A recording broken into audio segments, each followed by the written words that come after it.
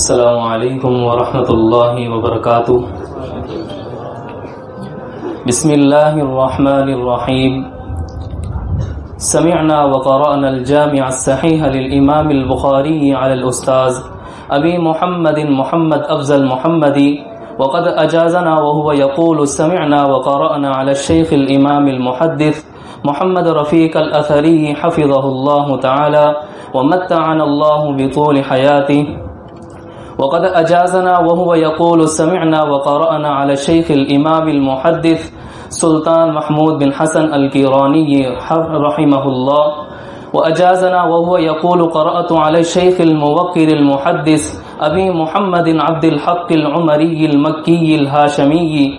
قال أخبرنا به أبو سعيد حسين بن عبد الرحيم البتالبي وأبو الوفاء ثناء الله الأمر السري وأبو الحسن محمد بن الحسن الدهلبي وأبو إسماعيل إبراهيم بن عبد الله الجلال بوري وأبو محمد بن محمود التنافسي وأبو, عب وأبو تراب عبد التواب الملتاني وأبو عبد الله شمس الحق العظيم آبادي وأبو اليسار محمد بن عبد الله الغيطي كلهم عن السيد النذير حسين الدهلبي رحمة الله عليه. عن عبد الرحمن بن سليمان الأهدل اليماني، عن محمد بن أحمد المكي، عن أبي الفتوح أحمد بن عبد الله التاؤسي عن المعمر ثلاثمائة سنة بابا يوسف الهربي الشهير بسهصد صالح عن المعمر مئة وأربعين سنة، أبي عبد الرحمن محمد بن محمد بن شادبخ. الفارسي فارسي الختلاني فرغاني، عن أبي لقمان يحيى بن عمار بن مقبل بن شاهان الفارسي الختلاني عن أبي عبد الله محمد بن يوسف الفربري عن الإمام الهمام أبي عبد الله محمد بن إسماعيل البخاري أمير المؤمنين في الحديث ورأس الفقهاء أستاذ الحفاظ الذي أجمعت الأمة شرقا وغربا على توثيقه وأمانته وزبته وصيانته فرضي الله عنه وعنا وعن جميع المؤمنين والمؤمنات. وهو يقول في آخر صحيح الجامع باب قول الله تعالى ونضع الموازين القسط ليوم القيامة وأن أعمال بني آدم وقولهم يوزن. وقال مجاهد القسطاس العدل بالرومية. ويقال القسط مصدر المقصد وهو العادل وأما القاسط فهو الجائر.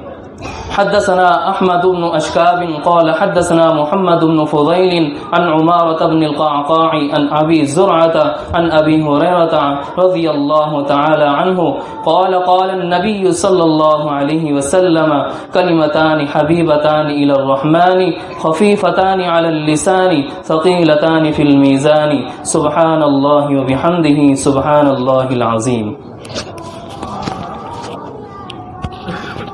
بارک اللہ فیکم، یہ گزشتہ سال سند فراغت حاصل کرنے والے فارغ ہونے والے طلباء میں سے حافظ ریحان انصاری سند پڑھ رہے تھے اور اس سال فارغ ہونے والے طلباء میں سے میں دعوت دوں گا حافظ ارسلان کو کہ وہ آئیں اور سند پڑھیں۔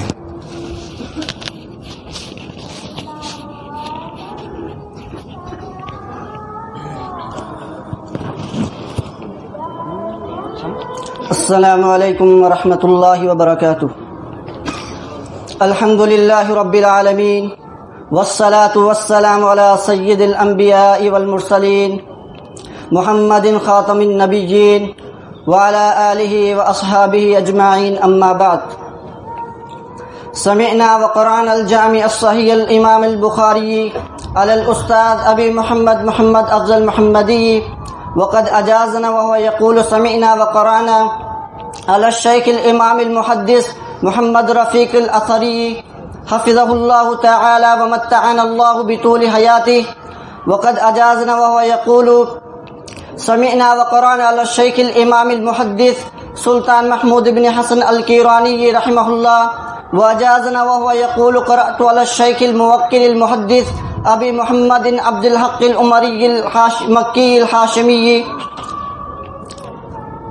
وقال قال أخبرنا به أبو سعيد حسين بن عبد الرحيم البطالوي وأبو الوفاء ثناء الله الأمر التصري وأبو الحسن محمد بن الحسن الدهلوي وأبو إسماعيل إبراهيم بن عبد الله الجلال بوري وأبو محمد بن محمود التنافسي وأبو عبد وأبو تراب عبد التواب الملتاني وأبو عبد الله شمس الحق العظيم آبادي وأبو اليسار محمد بن عبد الله الفيغيتي كلهم عن السيد نزير حسين الدهلوي رحمة الله عليه عن عبد الرحمن بن سليمان الأهدل اليماني عن محمد بن أحمد المكي عن أبي الفتوح أحمد بن عبد الله عبد الله الطاووسي عن المؤمر مئة عن المؤمر مئة سنة مئة سنة شهر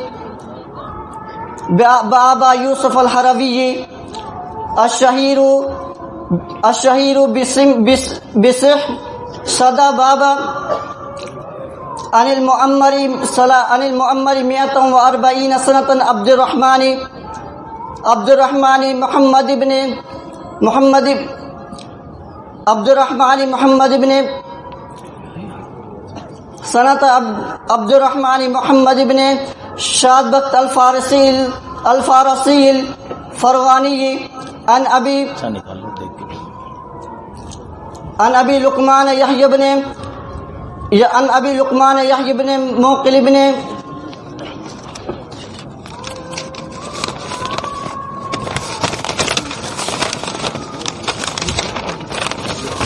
عن أبي لقمان يحيى بن عمر بن مقبل بن شاهان الفارسي الخطلاني عن أبي عبد الله محمد بن يوسف الفربري عن الإمام الحمام أبي عبد الله محمد بن إسماعيل البخاري أمير المؤمنين في الحديث ورأس الفقهاء أستاذ الحفاظ الذي أجمعت الأمة شرقا وغربا على توثيقه وأمانته وضبطه وصيانته فرضي الله عنه وعنا وعن جميع المؤمنين والمؤمنات.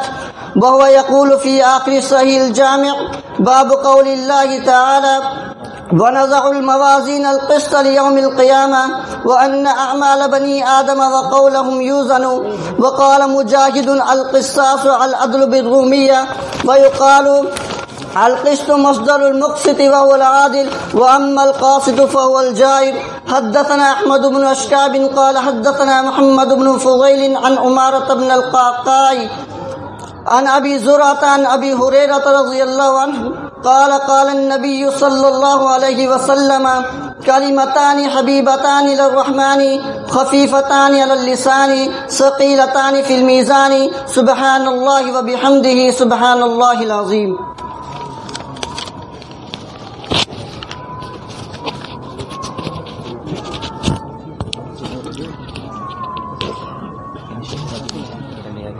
وہاں کیسے پہنچے گا پہنچے گا اوپر آ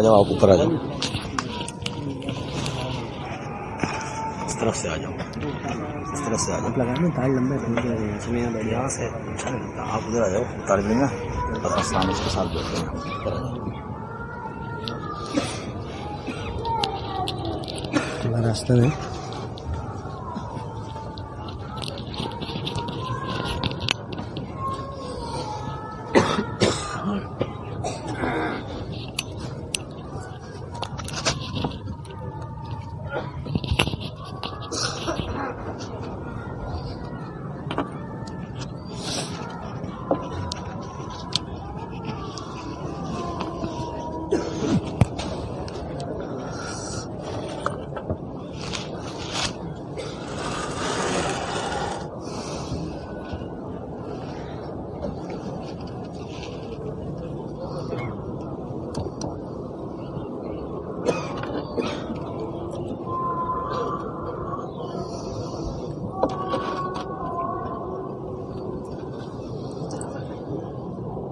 إن الحمد لله نحمده ونستعينه ونستغفره ونعوذ بالله من شرور أنفسنا ومن سيئات أعمالنا من يهده الله فلا مضل له ومن يضلل فلا هادي له وأشهد أن لا إله إلا الله وحده لا شريك له وأشهد أن محمدا عبده ورسوله يا أيها الذين آمنوا اتقوا الله حق تقاته.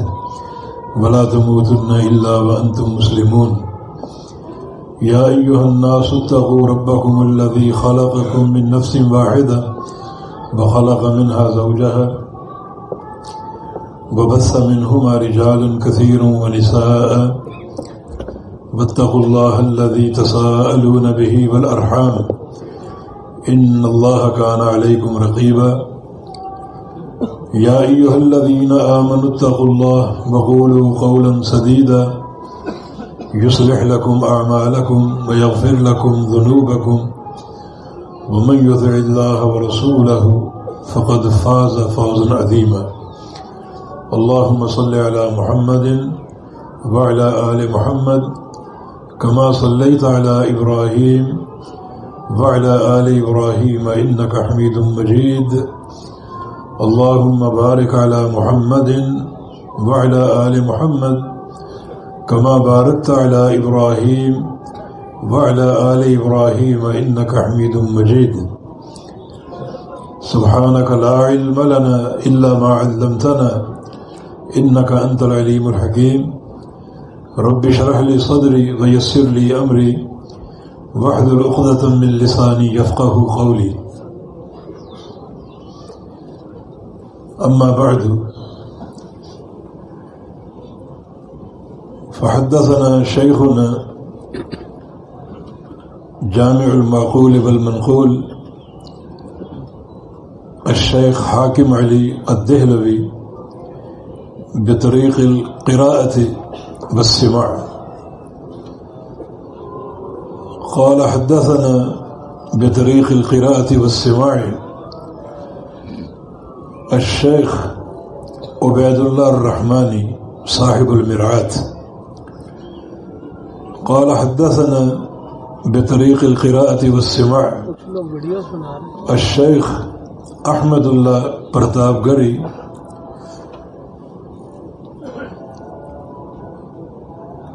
قال حدثنا بطريق القراءة والسماع. شيخ الكل في الكل. نذير حسين محدث الدهلوي رحمهم الله جميعا. والسند بعد شيخ الكل معروف متداول في الكتب وكما قرأ أمامنا الطالبان قبل قليل. إلى سيد الفقهاء والمحدثين إمام الدنيا في الحديث الإمام محمد بن إسماعيل البخاري رحمه الله تعالى. قال باب قوله تعالى ونضع الموازين القسط ليوم القيامة وأن أعمال بني آدم وقولهم يوزن. قال مجاهد القسطاس العدل بالرومية ويقال القسط مصدر المقسط وهو العادل وأما القاسط فهو الجائر. حدثنا أحمد بن إشكاب قال حدثنا محمد بن فضيل عن عمارة بن القعقاع عن أبي زرعة عن أبي هريرة رضي الله تعالى عنه قال قال النبي صلى الله تعالى عليه وسلم كلمتان حبيبتان إلى الرحمن، خفيفتان على اللسان، ثقيلتان في الميزان. سبحان الله وبحمده، سبحان الله العظيم.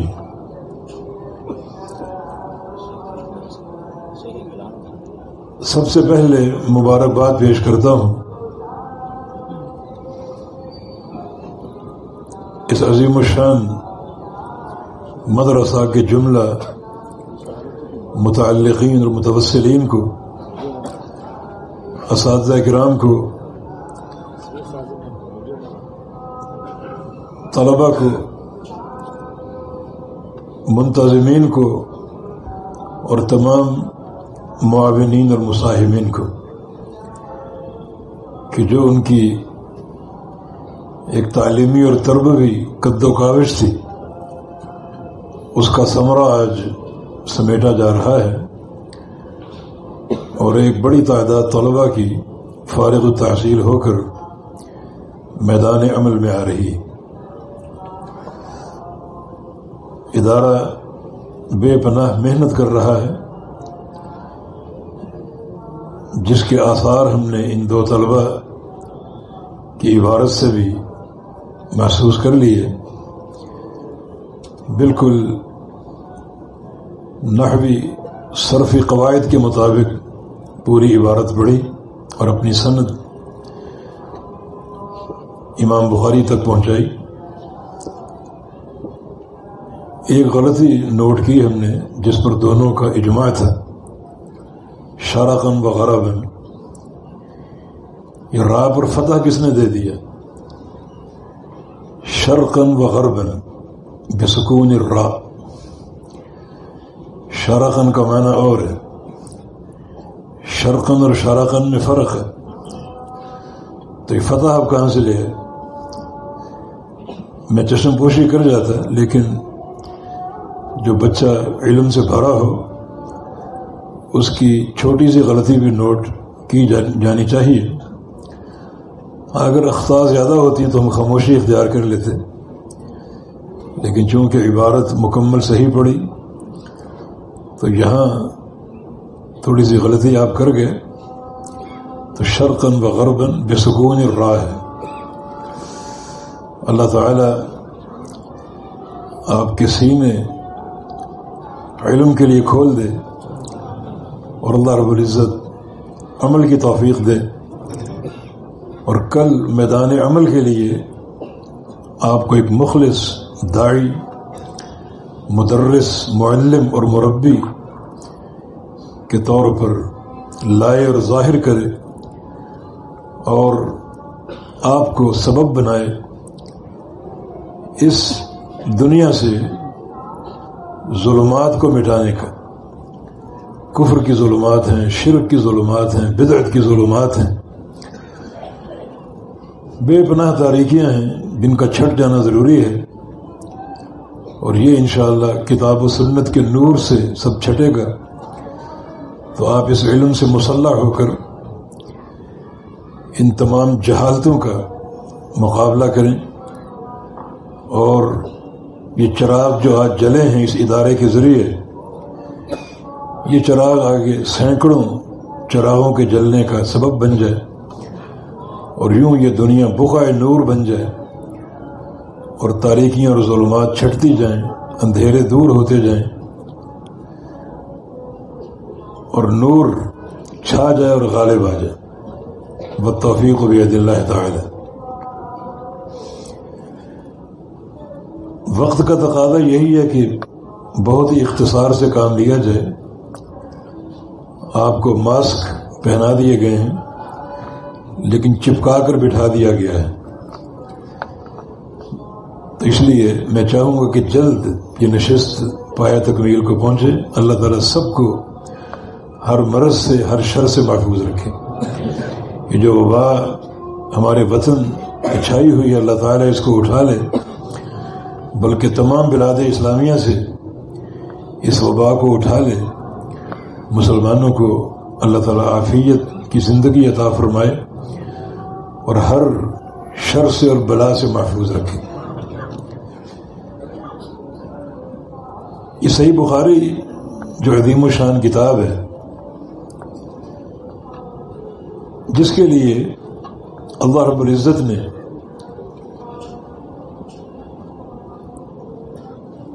ایک شخصیت کو پیدا کیا ایک ایسے وقت میں جب اس شخصیت کی ضرورت تھی۔ اس کا کوئی کام حکمت سے خالی نہیں۔ حالانکہ امام بخاری رحمہ اللہ کی جو ایک جلالت اور علمی وقعت ہے تو ان کے اساتذہ تک یہ سوچ رکھتے تھے کہ اس شخصیت کو صحابہ کے دور میں ہونا چاہیے تھا۔ جیسے آج کل ایک شخصیت جو فوت ہو گئے، شیخ عبدالعزیز بن باز رحمہ اللہ ان کے بارہ میں ان کے ملنے والے اور علماء متفق ہیں اس بات کی حیات ہو کہ حیات صحابہ کہ ان کی زندگی صحابہ جیسی۔ یعنی اس جملے میں ایک سوچ پنہا ہے کہ اس شخصیت کو دور صحابہ میں ہونا چاہیے تھا۔ امام بخاری رحمہ اللہ کے بارے میں ان کے شیخ قطعبہ بن سعید کے دو قول ہیں۔ لوکان لوکان البخاری فی صحابہ لکان عالمن اگر امام بخاری صحابہ کے دور میں ہوتے، تو اس دور میں بھی پہاڑ کی اونچی چوٹی ہوتے۔ پہاڑ کی اونچی چوٹی ہونے کا معنی رہنمائی کا کام کرنا۔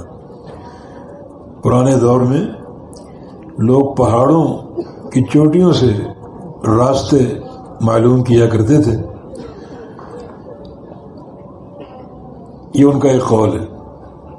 دوسرا ان کا قول ہے، فضل البخاری علی سائر المحدثین، کا فضل عمر ابن الخطاب علی سائر الصحابہ۔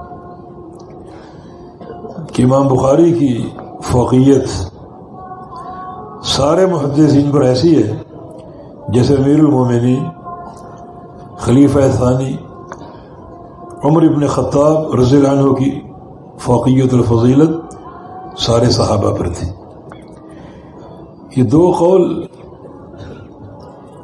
مدرش ہیں اس بات کو کہ اس شخصیت کا مقام وہیں جچتا تھا کہ یہ صحابہ کے دور میں ہوتے اور اللہ کے حبیب کی صحبت سے فیض یاب ہوتے۔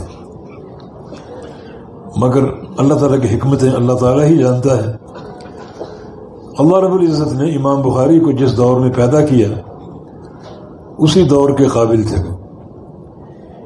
نبی اسلام کی حدیث ہے، خیر الناس قرنی ثم الدین یلون ثم الدین یلون کہ سب سے بہترین زمانہ میرا زمانہ ہے۔ پھر اس کے بعد صحابہ کا، پھر تابعین کا طباء تابعین کا۔ اس کے بعد فتنے ہوں گے۔ بے تحاشا فتنے۔ امام بخاری جس دور میں پیدا ہوئے، وہ خیر القرون کے انقضاء اور انتہا کا دور تھا۔ خیر القرون ختم ہو رہا تھا۔ جو بہترین دور آپ نے ذکر فرمایا، وہ اپنے اختتام کو تھا۔ اور فتنوں کے دور کا آغاز ہوا چاہتا تھا۔ اور اللہ تعالی ہمیشہ اپنی حجت قائم کرتا ہے۔ چنانچہ فتنوں کے دور کے آغاز سے قبل اللہ تعالی نے اور اس کی حکمت نے یہ فیصلہ کیا کہ لوگوں کے ہاتھ میں ایک دستاویز آئے۔ ایسی دستاویز جو سارے فتنوں کی سرکوبی کرے، فتنوں کا قلع کما کرے، اور جو علم کا نور ہے، قرآن و حدیث، اس کی پوری طرح تطبیق ہو۔ اللہ تعالیٰ اپنی حجتیں پوری کرتے بد اللہ الحجت البالغ کہ خیر القرون رخصت ہو رہے اور فتنوں کے دور کا آغاز۔ ویسے تو پوری شریعت موجود ہے، لیکن ایک بندہ ٹکا علم جو خاص طور پہ فتنوں کی نشاندہی کرے، ان کی سرکوبی کرے اور منہج حق ثابت اور قائم کرے۔ ایسی دستاویز کی، کتاب کی، علمی خزانے کی ضرورت تھی۔ اس کے لیے اس شخصیت کا انتخاب عمل میں آیا۔ امام المحدثین، امام بخاری رحمہ اللہ کا۔ یہ صحیح بخاری۔ صرف حدیث کی کتاب نہیں ہے۔ صرف فقہی کتاب نہیں ہے، بلکہ یہ ردود کا ایک عظیم الشان سرمایہ بھی ہے۔ ردود یعنی رد، باطل کا رد، بدعات اور خرافات کا رد۔ طلبہ جانتے ہیں کہ امام بخاری رحمہ اللہ کے اکثر جو تراجم اور ابواب ہیں، وہ کسی نہ کسی گمراہ فرقے کا رد ہے۔ کسی نہ کسی گمراہ فرقے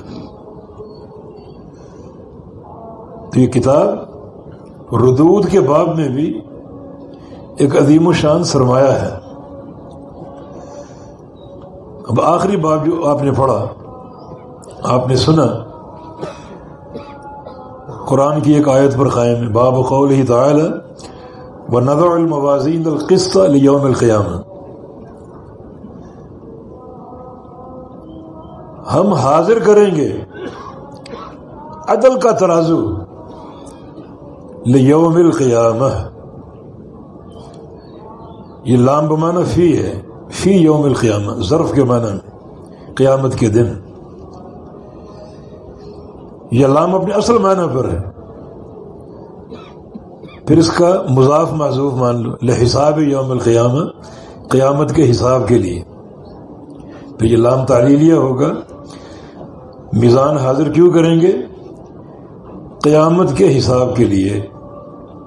جو اخروی حساب ہے، اس میں ایک اہم ترین بشعبہ ہے یہ ایک اہم ترین گھڑی ہے، وہ ہے لوگوں کے اعمال کو تولا جائے اور تول کر ان کا حساب لیا جائے۔ یہ باپ بھی در حقیقت دو گمراہ فرقوں کا رد ہے۔ ایک عقل پرست لوگ، معتزلہ، جو وزن اعمال کا انکار کرتے ہیں۔ وہ کہتے ہیں کہ یہ عقل میں نہیں آتا۔ یہ متکلمین نے، عقل پرست لوگوں نے دنیا میں موجود ہر چیز کو تین قسموں میں تقسیم کیا۔ ان تین میں سے ایک ضرور ہے۔ ایک جوہر، دوسرا عرض اور تیسرا جسم۔ جوہر کا معنی کرتے ہیں وہ شے جو قائم بے ذات ہی ہو۔ جس کو قائم ہونے کے لیے کسی سہارے کی ضرورت نہ پڑے۔ یعنی جوہر ایک جسم ہے جو قائم بے ذات ہی۔ عرض کا معنی کرتے ہیں وہ مانوش ہے جو قائم بے ذات ہی نہ ہو سکے، جس کو قائم ہونے کے لیے، ثابت ہونے کے لیے سہارے کی ضرورت ہو۔ اور جسم کا معنی کرتے ہیں، وہ عرض کا سہارا ہے، وہ عرض کو اٹھاتا ہے۔ ہر چیز، جو بھی اس کائنات میں موجود ہے، یا وہ جوہر ہے، یا وہ عرض ہے، اور یا وہ جسم۔ اب وہ کہتے ہیں کہ اعمال آراز ہیں، عرض ہے۔ نماز عرض ہے، روزہ عرض ہے۔ تو ترازو کیسے تولے ان اعمال کو؟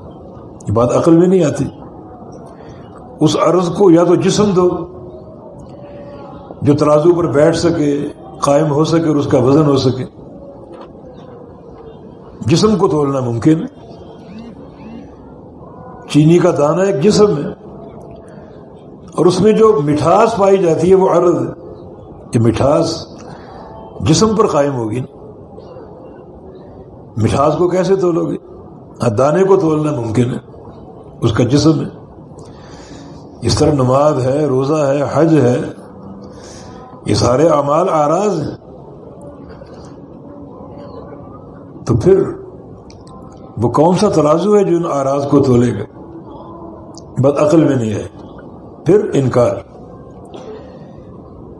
عقل پرست لوگوں کی یہ ایک منتہائی نظر ہے۔ انکار کر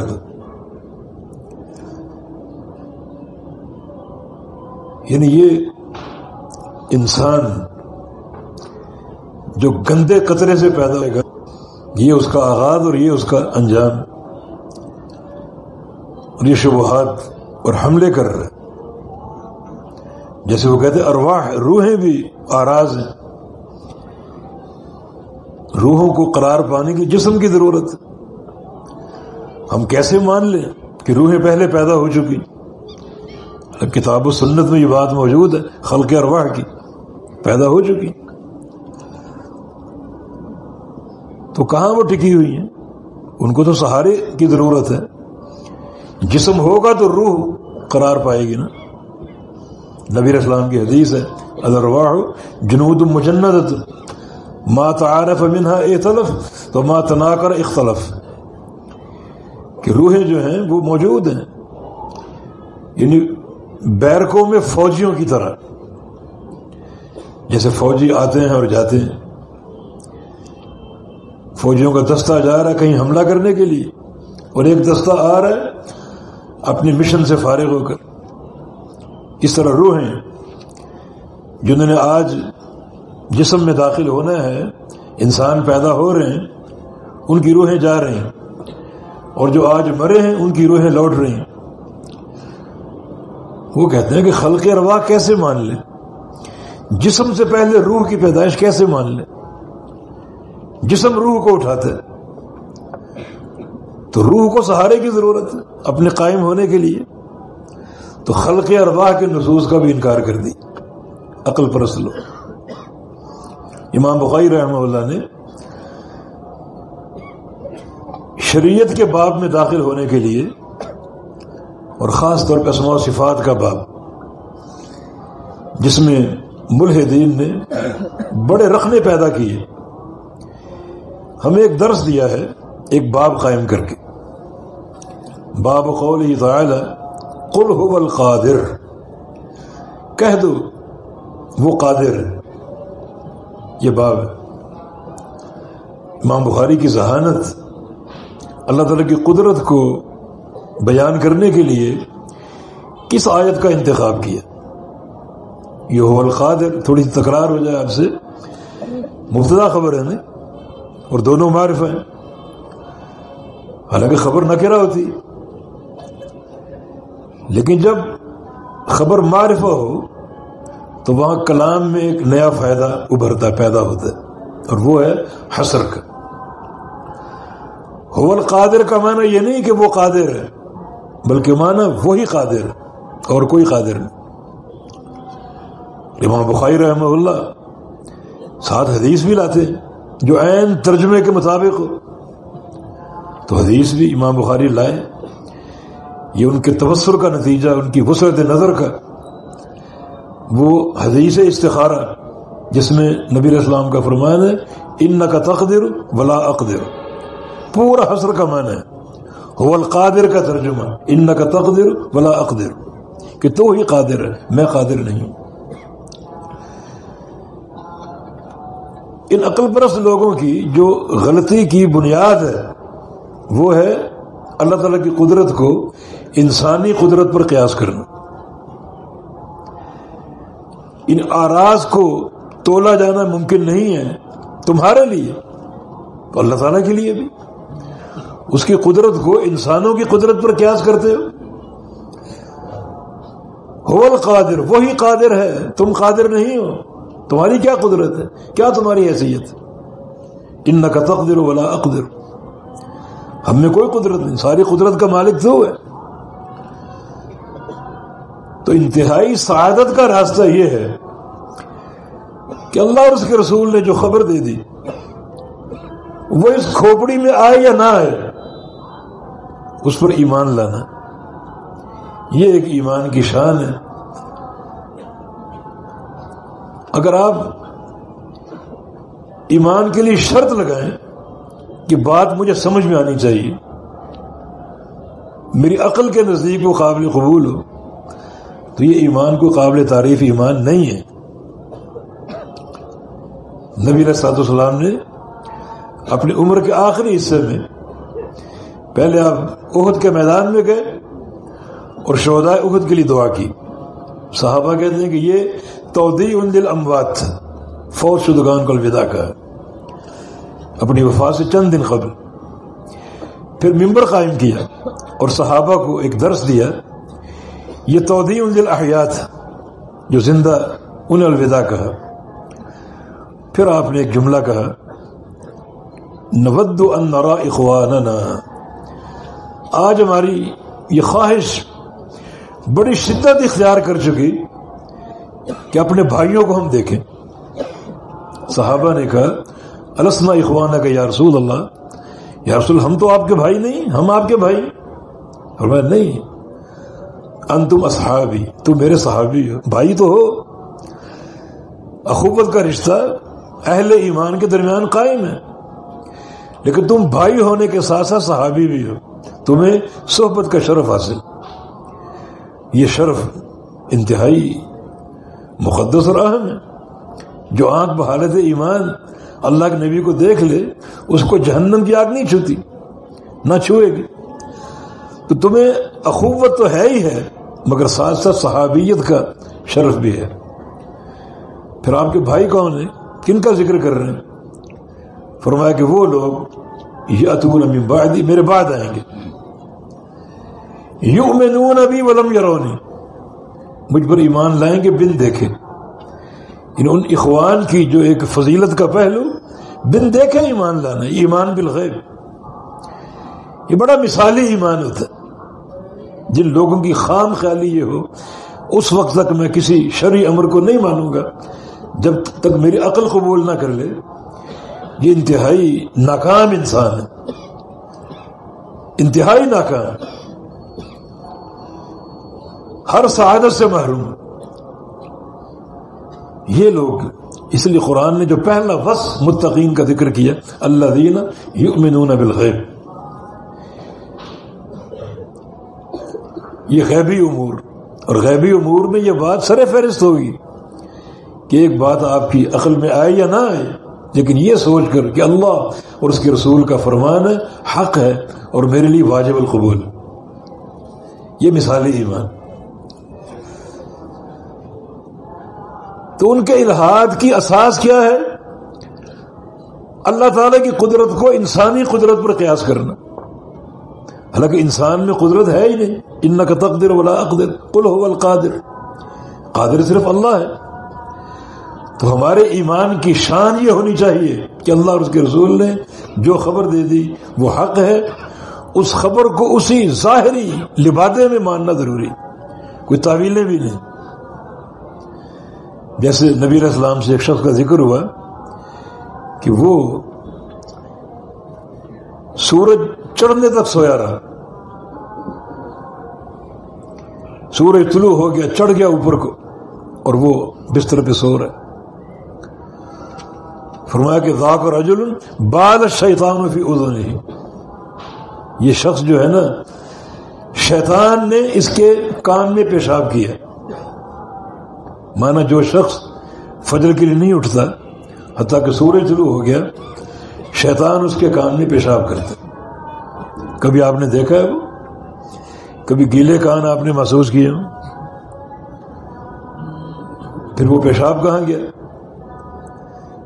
اللہ عالم لیکن میرے نبی کا فرمان ہے، پتھر پر لکیر میرے لیے واجب القبول ہے۔ تو یہ لوگ گمراہ یہ عقل پرس لوگ کسی نہ کسی روپ میں ہر دور میں موجود ہوتے ہیں۔ جو رقیق تعویلوں کے ذریعے اپنی خواہشات کو بروے کار لاتے ہوئے اور عقل کو نقل پر مقدم قرار دیتے ہوئے جو اس طرح کی حرکتیں کرتے ہیں۔ اپنے مشائق سے ہم نے قصہ سنا ایک، امام راضی کا وہ مقام رے سے نیشا پور ہے۔ رے ان کی جائے پیدائش ہے۔ رے کی طرف جو منصوب اس کو راضی کہا جاتا ہے۔ نیشا پور ہے۔ تو ان کے شاگردوں نے استقبال کیا ان کا۔ اور اپنے شیخ کو ایک گھیرے میں لے کر آ رہے ہیں۔ تو ایک گلی کے پاس سے گزرے۔ ایک بوڑھی خاتون اپنے گھر کی چوکڑے پر بیٹھی ہوئی تھی۔ اس نے دیکھا کہ ایک شخصیت کو یہ نوجوان لڑکے لا رہے ہیں۔ تو پوچھا راستہ روک کر کہ یہ کون شخصیت؟ کہیں امام راضی، فخر الدین راضی۔ تو ان کو اتنا تم نے تقریم، اکرام کیوں دیا ہے؟ کہا کہ ان کے بڑے کمالات ہیں۔ کوئی ایک کمال ہمیں بتائیے؟ کہ ایک چھوٹا سا کمال ان کا یہ ہے کہ اللہ تعالیٰ کے وجود کو عقل سے ثابت کرنے کے لیے انہوں نے سو دلائل دیے اللہ تعالیٰ کے وجود کو عقل سے ثابت کرنے کے لیے۔ لیکن بوڑھی سے متاثر نہ ہوئی۔ اس نے کہا کہ مجھے تو محسوس ہوتا ہے کہ اللہ کے وجود کے بارے میں ان کے دماغ میں سو اشکال آئے ہوں گے جن کو رفع کرنے کے لیے عقلی دلائل دیے اس کی ان کو ضرورت کیوں پیش آئی؟ اپنے شیخ سے پوچھو، اللہ تعالیٰ کا فرمان، قل ہو اللہ احد، اللہ کے وجود کے اس بات کے لیے کافی نہیں ان کے لیے۔ یہ آیت کریمہ اور اس طرح کی بے شمار آیات اللہ کے وجود کو ثابت نہیں کر رہے۔ پھر ان کو عقل کے سہارے کی کیا ضرورت؟ امام راضی نے بڑھیا کی باتیں سن لی اور دعا کی کہ اللہ میں اصل کا ایمان کا ایمان اجائد نیشا پور یا اللہ، میں تجھ سے نیشا پور کی بوڑھی عورتوں والے ایمان کا سوال کرتا ہوں۔ مجھے وہ ایمان دے۔ نہ ان کے پاس علم ہے، نہ کوئی منطق ہے، نہ کوئی فلسفہ ہے، لیکن فطرت، پاکیزہ فطرت۔ عقل سلیم عقل سلیم وہ ہوتی ہے جو کتاب و سنت کے تابع ہو۔ جو اس بات کو محسوس کر لے کہ حاکمیت اللہ کی وحی کو ہے۔ کوئی عقل نقل پر مقدم نہیں ہو سکتی۔ یہ عقل سلیم ہے، فطرت سلیمہ۔ امام راضی کی دعا کہ یا اللہ مجھے نیشا پور کی بوڑھی عورتوں کا ایمان دے دے۔ یہ قوی ایمان۔ تمہارا کام کیا ہے؟ یو تسلیم تسلیم، سر تسلیم خم کرنا۔ اللہ اور اس کے رسول نے جو فرما دیا۔ اس کو اسی ظاہر کے ساتھ قبول کر لینا کسی تعویذ اور تحریف کے بغیر اس کو قبول کرنا یہ ہمارے ایمان کی شان۔ امام بخاری نے بھی متضلہ کا رد کیا۔ رد کے لیے عقلی دلائل نہیں دیے۔ نقل پیش کر کے حجت قائم کی۔ اور یہ کافی امام مالک رحم اللہ کا قول ہے کہ اپنے مد مقابل کو، کسی مبتدع کو اگر وہ آپ سے مناظرہ کر رہے تو کتاب و سنت کی نس پیش کر کے خاموش ہو جاؤ۔ بس حجت قائم ہو گئی۔ اس کے بعد جو ان کے جو تعویلات ہوں گے، وہ سب وہ رقیق باتیں جن کا صحت سے کوئی تعلق نہیں۔ وقت اپنا ضائع نہ کرو۔ اب دیکھیں اللہ تعالی نے مشرق کے بارے میں فرمایا کہ اس کے پاس کوئی برہان نہیں ہے، کوئی دلیل نہیں۔ ہے مشرق برہان سے خالی۔ تو پھر کیا مشرق سے مرادرہ کرنا چاہیے؟ یہ بات طے شدہ ہے کہ تم حجت سے خالی ہو، برہان سے خالی ہو۔ حجت اور برہان ہمارے پاس۔ یہ فخر کا ضیاع ہے۔ امام بخاری رحمہ اللہ نے بھی ان معتزلہ کا رد کیا، ایک نس قرآنی پیش کر کے اور ایک نبی اسلام کی حدیث پیش کر اتنا کافی۔ اسی سے اقامت حجت ہوگی۔ باقی جو ان کے عقلی موشگافیاں اور ان کے انحرافات، اس طرف کوئی توجہ نہیں۔ بس یہ حق ہے۔ حق آ گیا، باطل مٹ گیا۔ یہ دیکھیں، یہ یہ باب ایک گمراہ فرقے کی سرکوبی کر رہے معتزلہ کی، عقل پرس لوگوں کی۔ جو اس دور میں معتزلہ کے رنگ میں تھے، متکلمین کے رنگ میں۔ آج بھی کسی نہ کسی طور موجود ہیں۔ جو عقل عقل کی بات کرتے ہیں۔ یہ لوگ مسکین ہیں، ترس کھائے جانے کے قابل کتاب و سنت کا سرمایہ ہمارے ہاتھوں میں موجود ہے۔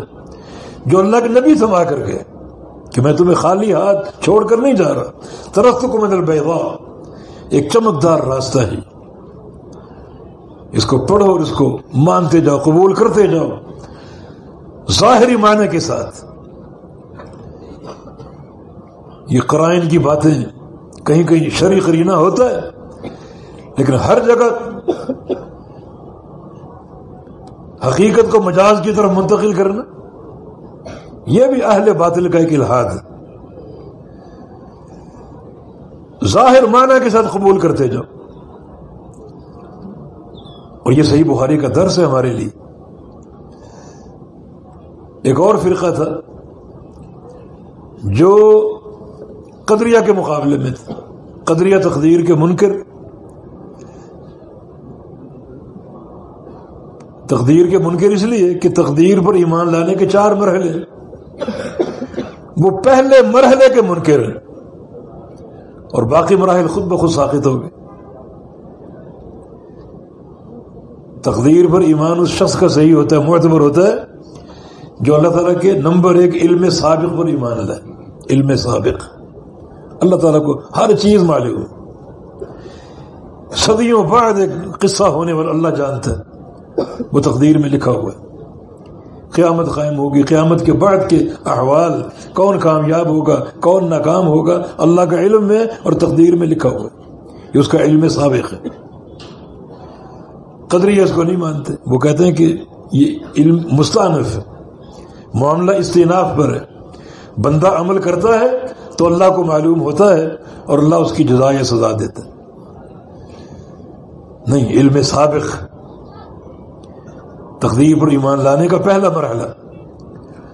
اور دوسرا مرحلہ یہ ہے کہ کتابت قدر، جو اللہ کے علم میں ہے، اللہ نے لکھا، ان اللہ کتب مقادیر الخلائق، قبل یخلق السماوات والارض بخمسین الف سنہ۔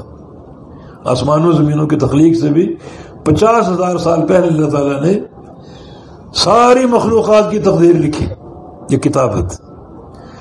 چونکہ قدریہ علم سابق کو نہیں مانتے، تو پھر کتابت کا بھی انکار ہو گیا۔ اور تیسری بات یہ ہے کہ اب دنیا میں جو کچھ ہو رہا ہے، اس نوشتہ کے مطابق ہو رہا ہے، جو اللہ نے لکھا ہے، اس کے خلاف نہیں۔ تقدیر میں کیا لکھا ہے، ہمیں معلوم نہیں۔ لیکن جب ایک چیز ہمیں نظر آ جاتی ہے، تو ہم ایمان لاتے ہیں کہ تقدیر میں یہ لکھا ہوا تھا۔ ایک بندہ کب مرے گا، ہمیں نہیں معلوم۔ لیکن جب وہ فوت ہو گیا، ہم کہیں گے کہ تقدیر میں اس کے فوت ہونے کا یہ ٹائم لکھا ہوا تھا۔ انہیں یعنی قصے کے ظہور کے بعد ہم پر یہ بات واضح ہوگی کہ تقدیر میں یہ لکھا ہوا تھا۔ ہر چیز نوشتہ تقدیر کے مطابق ہو رہی۔ ایک سر منہ اختلاف نہیں، ایک سوئی کے ناکے کے برابر بھی اختلاف نہیں۔ اور چوتھا یہ ہے کہ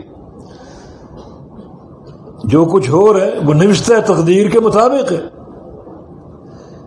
لیکن ساتھ ساتھ یہ کہنا پڑے گا کہ اللہ کی مشیت بھی وہی ہے۔ خالی نوشتہ تقدیر نہیں، بلکہ جو کچھ ہو رہا ہے، وہ اللہ کی مشیت کے تحت۔ اس کی مشیت سے باہر نہیں۔ یہ کارخانہ اللہ کا ہے، یہ خلق اللہ کی ہے۔ اور اللہ کی خلق میں اللہ کی مشیت کے بغیر ایک پتا بھی نہیں ہل سکتا۔ یہ چار مراحل ایمان بالقدر کے۔ تو قدریہ نے پہلے مرحلے کا انکار کر دیا۔ تو خود بخود تقدیر کے منکر ہو گئے۔ اس کے مقابلے جبریہ ہے۔ تقدیر پر ایمان لائے۔ اور پوری قوت کے ساتھ جو قوت قدریہ نے استعمال کی تقدیر کے انکار کے لیے، وہ قوت جبریہ نے انکار کی تقدیر کو ماننے کے لیے۔ آپ کھیلتے ہوں گے گیند سے۔ گیند اگر آہستہ دیوار سے مارو گے تو آہستہ آپ کے پاس آئے گی۔ اور اگر طاقت سے مارو گے تو طاقت سے آپ کے پاس آئے گی۔ تو اسی طاقت کو جبریہ نے استعمال کیا تقدیر کو ماننے کے لیے۔ اتنا مانے اتنا مانے کہ وہ ساری مخلوقات کو تقدیر کے آگے مجبور قرار دے گے انسان کا کوئی اختیار ہی نہیں۔ ہر شخص نوشتہ تقدیر کے آگے مجبور ہے۔ حتیٰ کہ نیکی اور بدی بھی، عمل صالح اور عمل سیے بھی، ایک بندہ گھر سے نکلے، نماز کے لیے جا رہا ہے، تو اپنے اختیار سے نہیں جا رہا، بلکہ تقدیر کے آگے مجبور ہے۔ اس کو نماز کا ثواب ملنے والا نہیں ہے، مجبوراً وہ کر رہا ہے۔ ایک بندہ گھر سے نکلا سینما حال جا رہا ہے۔ اس کو کوئی گناہ نہیں ملے گا، تقدیر میں لکھا ہوا ہے۔ وہ مجبور ہے۔ وہ کہتے ہیں جیسے اب ہوا چلتی ہے، درختوں کے پتے ہلتے ہیں۔ پتوں کا تو کوئی کمال نہیں، نہ ان کا اختیار ہے۔ ہوا چل رہی ہے، وہ ہل رہے ہیں۔ دائیں طرف جائیں، بائیں طرف جائیں۔ یہی معاملہ انسانوں کے اعمال کا ہے۔ امام بخاری رحم اللہ اس فرقے کا رد کرتے ہیں کہ پھر وزن اعمال کا معنی کیا ہے؟ انسان اگر مجبور ہے، مجبور محل نہ نمازی کو ثواب ملنے والا ہے، نہ شرابی کو گناہ ملنے والا ہے۔ تو اللہ میزان کیوں قائم کرے گا بندوں کی نیکی اور گناہ تولنے کے لیے؟ حساب و کتاب کا یہ کڑا مرحلہ۔ پھر نصب میزان میں کیا حکمت؟ ان بندے کا اللہ کے سامنے پیش ہونا، کھڑا ہونا، نیکیوں، گناہوں کا شمار ہونا بہت سے مراحل ہیں۔ اور ایک اہم مرحلہ وزن اعمال کا۔ پھر یہ کیوں ہے؟ تو بڑا ایک نفیس رد ہے جبریا پر بھی اور خلاصہ قول یہ ہے اس سارے موقف میں کہ امور کی دو قسمیں امور قدریہ و کونیہ اور امور شرعیہ۔ امور قدریہ میں ہر بندہ مجبور ہے۔ ہر بندہ مجبور ہے نوشتہ تقدیر کے سامنے۔ وہ پیدا کب ہوگا؟ جو تقدیر میں لکھا ہے، مرے گا کب؟ جو تقدیر میں لکھا ہے۔ کتنا کھائے گا؟ جو تقدیر میں لکھا ہے۔ کتنا پیے گا؟ جو تقدیر میں لکھا ہے۔ ایک گھونٹ نہ زیادہ نہ کم۔ اس کی زندگی سے ایک سیکنڈ نہ زیادہ نہ کم۔ یہ ہے امور قدریہ و کونیہ۔ اس میں ہر شخص نوشتہ تقدیر کے سامنے مجبور اپنا کوئی اختیار نہیں۔ امور شرعیہ میں اللہ تعالی نے یک نو بندوں کو اختیار دیا انا دینا حسبیل اما شاکر اما کفور دو راستے دکھائے۔ یہ راستہ جنت کی طرف جا رہا ہے، یہ راستہ جہنم کی طرف جا رہا ہے۔ لیا بولو حکم احسن عمل واضح کر دیا۔ انبیاء کی تعلیم کے ذریعے حجت قائم کر دی۔ یہ امور شرعی ہے۔ اس میں کسی حد تک بندے کو آزادی دی۔ کہ چاہے تم جنت کا راستہ اختیار کرو، چاہے جہنم کا راستہ۔ اما شاکر، اما کفورا۔ یہاں اختیار ہے۔ ہاں بندہ جو راستہ اختیار کرے گا، وہ اللہ کی مشیت سے ہٹ کر نہیں۔ میں نے عرض کیا نا کہ اس پورے جو ایک کارخانہ قدرت ہے، ایک ذرے کے برابر حرکت بھی اللہ کی مشیت کے خلاف نہیں ہو رہی۔ اللہ تعالیٰ جانتا ہے، اس کے علم میں کہ جنت کے قابل کون ہے اور جہنم کے قابل کون ہے۔ ہدایت دینے والا بھی وہ ہے، گمراہی دینے والا بھی وہی ہے۔ لیکن انبیاء کی تعلیمات کے ذریعے حجت قائم کر دی کہ تمہیں آزادی ہے، جس راستے کو چاہے منتخب کر۔ بندہ جو انتخاب کرے گا، وہ اس کی مشیت سے باہر نہیں، اس کی مشیت کے اندر۔ صرف آخری اشکال یہ بچتا ہے، جس مرحلے پر نبی اسلام کی حدیث ہے ادا ذکر القدر ام سکھو تقدیر پر بات چلتے چلتے جب یہ موڑ آ جائے، تو اپنی زبانیں بند کر لو۔ کہ اللہ کے علم میں فلاں بندے کا جنتی ہونا کیوں ہے؟ اور اللہ کے علم میں فلاں بندے کا جہنمی ہونا کیوں ہے؟ فلاں بندے کی زینت ایمان ہے اور فلاں کی کفر ہے، اللہ جانتا ہے۔ اور اس کی عطا سے سب کچھ حاصل ہونے والا کیوں؟ یہاں زبانوں پر تالے لگا اب یہ اللہ کا راز نہ کوئی ملک مقرب، نہ کوئی نبی مرسل اس راز پر مطلع ہوا ہے، نہ ہوگا کبھی۔ یہ اس کا راز کوئی نہیں جانتا اس کو۔ ہو سکتا قیامت کے دن کھلے۔ لیکن آج یہ راز ہے۔ وہ لوگ پرلے درجے کے مجرم ہیں جو اللہ کے راز کو چاہے جھوٹ ہی کیوں نہ ہو، افشا کرنے کی کوشش کرتے ہیں۔ غیب کا علم، غیب کا علم۔ کل کی باتیں جان لو، پرسوں کی باتیں جان لو، سو سال بعد کی باتیں جان لو۔ فلاں کام تمہارے لیے صحیح ہے یا غلط ہے، ہم سے پوچھ لو۔ وہ علامہ عیسائی اللہ ظہیر رحمہ اللہ، ان کے دادا تھے۔ حاجی احمد صاحب، احمد پورا ایک محلہ سیال کوٹ ان کے نام سے۔ وہ اپنے گھر میں تشریف فرما تھے۔ تو باہر ایک شخص آوازیں لگا رہا مستقبل کی خبریں جان لو، مستقبل کے حالات معلوم کر لو۔ اب خواتین کچے عقیدے کی آتے بھی اس ٹائم ہے جب مرد گھروں میں نہ ہو۔ تو خواتین ایسے لوگوں کو گھیر کے بیٹھ جاتی کہ بابا جی ہمیں بتاؤ، ہمارا کل کیسا ہے؟ دس سال بعد کیا ہوگا؟ فلاں کی شادی، فلاں تجارت، ہمیں بتاؤ۔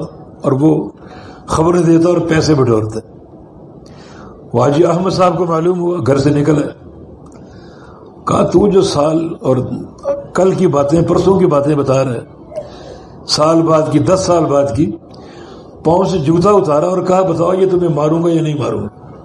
ابھی کرنٹ پتہ چل جاتا ہے۔ تو جو بڑا عالم الغیب بن رہے بتاؤ، یہ جوتا تو جو ماروں گا یا نہیں ماروں گا؟ اب وہ پریشان ہو گیا۔ کیا بتاؤں؟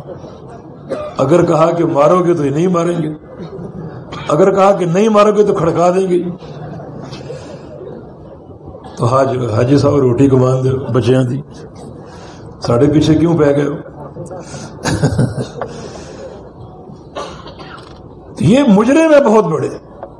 تقدیر اللہ کا راز ہے، کسی کو علم نہیں اس کا۔ کوئی نہیں جانتا۔ اللہ کا راز ہے۔ تو یہ یعنی مسئلہ تقدیر میں یہ ہے وہ نقطہ جہاں خاموشی اختیار کر لو۔ ان سارے حقائق کو ماننا یہ ایمان بالقدر ہے۔ ایمان بالقدر جو ہے وہ ان چھ امور میں داخل ہے جو ایمان کی بنیاد، ایمان کے ارکان ہے وہ انتو میں بالقدر خیر ہی بشر رہی تو اس پوری تقدیر پر ایمان لانا یہ اس کے حقائق ہے خلاصہ ہم نے پیش کر دی۔ تو جبریہ، ان کا رد یہاں موجود ہے کہ اگر انسان مجبور محض ہے، عمل خیر میں یا عمل شر میں، تو نصب موازین کا کیا معنی ہے؟ اللہ امال کیوں تو لے گا؟ یہ حساب کا مرحل ہے۔ امام بخاری رحم اللہ، کیا ان کی ایک ذہنی نفاست تھی؟ کسی فرقے کا نام نہیں لیا۔ لیکن دلائل قاطعہ کے ذریعے رد فرما دیا متضلہ بھی لاجواب ہے اور جبریہ بھی۔ باقی کوئی عقلی موشگافیاں پیش کرتا ہے تو اس کے ایمان کا نقص ہے۔ صحیح الایمان وہ شخص ہے جو تمام شرع حقائق کو مانتا جائے مانتا جائے۔ آمنا بصدقنا آمنا بصدقنا جیسا کہ صحابہ کا مثالی ایمان تھا۔ جب اللہ تعالیٰ نے یہ فرمایا کہ ان تبدو معافی انفسکم و تخفو یحاسبکم بہ اللہ، کہ تمہارے اندر جو خیالات آتے ہیں، انہیں ظاہر کرو یا چھپاؤ، اللہ نے حساب لینا۔ صحابہ سناٹے میں آ گئے کہ خیالات تو ہر طرح آتے اور کسی انسان کو کنٹرول نہیں پھر شیطان انسان کے اندر سرایت کیے ہوئے گجری من الانسان مجرا دمی تو پھر کون بچے گا؟ سب رگڑے میں آ گئے کسی انسان کو خیالات پر کنٹرول نہیں۔ اور اللہ فرمائے میں حساب لینا۔ ظاہر کرو، تو حساب لیں گے۔ چھپائے رکھو، تو حساب لیں۔ نبی اسلام کے پاس آ گئے یہ تو آیت اس نے ہماری کمر توڑ دی۔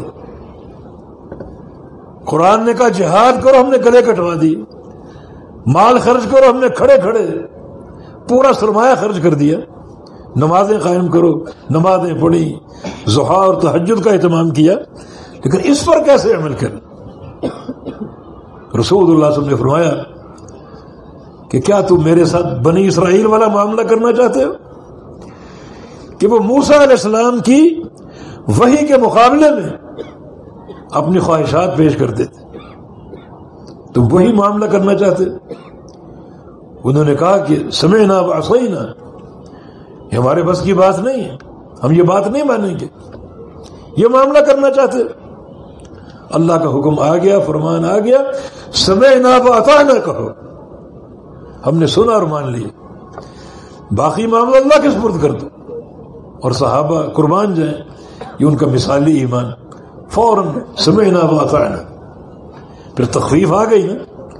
اللہ نے ایک قوم کو آزمایا اور وہ قوم کامیاب نکلی اور اللہ نے سرخرو کر دیا۔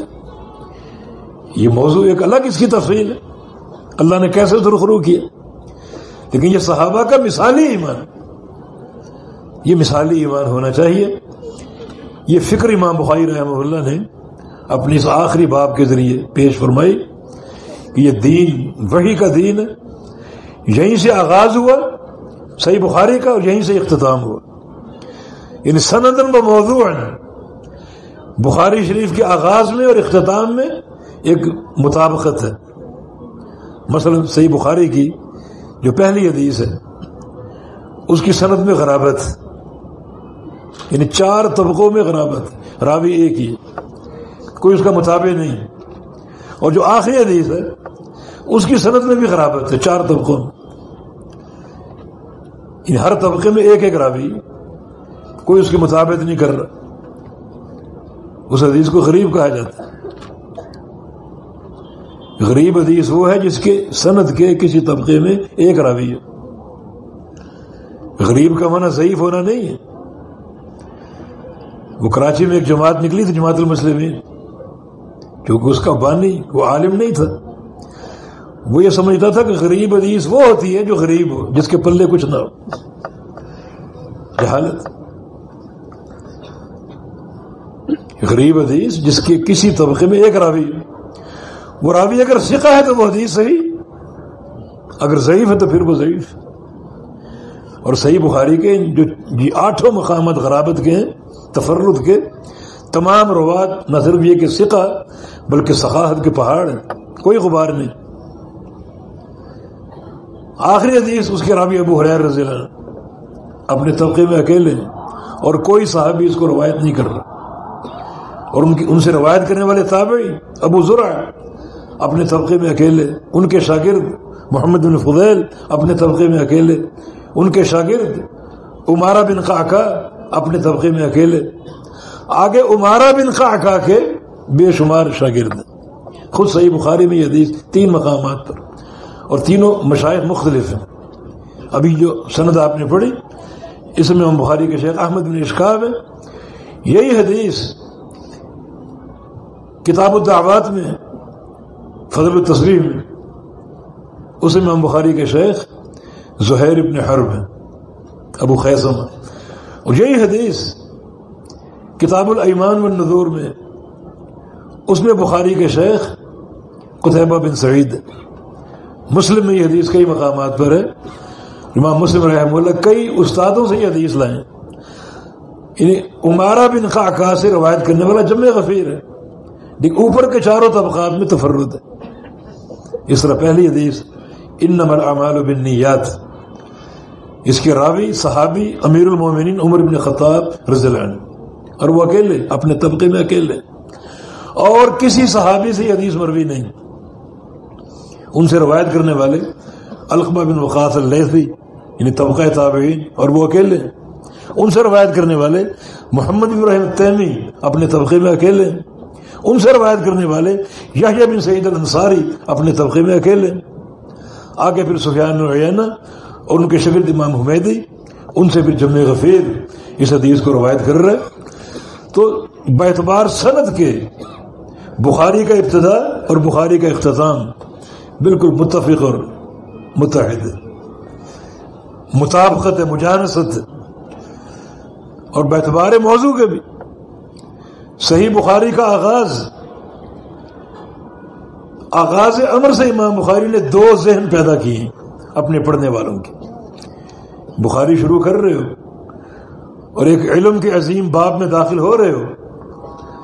دو چیزوں کے ساتھ آپ کی تربیت کرنا چاہتا ہوں۔ باب بدل وحی یہ بات نوٹ کر لو کہ یہ دین دین وحی۔ یہ خرافات کا دین نہیں ہے، اقلیات کا دین نہیں ہے اور رجال کا دین نہیں ہے۔ انسانی ملفوظات کا دین نہیں ہے، بلکہ یہ دین دین وحی۔ یہ دین جس حقیقت کا نام ہے، وہ عرش الہی سے اتری۔ سبحان اللہ۔ خوش نصیب ہیں وہ لوگ، جن کے علم و عمل اور عقیدہ کی اساس وہ علم ہے جو عرش الہی سے اترا۔ اس سے مبارک نسبت اور کیا ہو سکتی؟ وہ لوگ بد نصیب ہیں کہ عرش الہی کے علم کے ہونے کے باوجود وہ اراؤ رجال کے پیچھے پڑے مقلد ہونے بیٹھے فلاں مرشد، فلاں شیخ، باپ، دادا، قوم، برادری۔ حالانکہ عرش الہی کا علم موجود ہے، کتنی بڑی سعادت امام بخاری نے یہ تربیت دی۔ یہ دین دین وحی۔ اور صحیح بخاری آخر تک پڑھو۔ یہ حقیقت آپ پر آیا ہوگی۔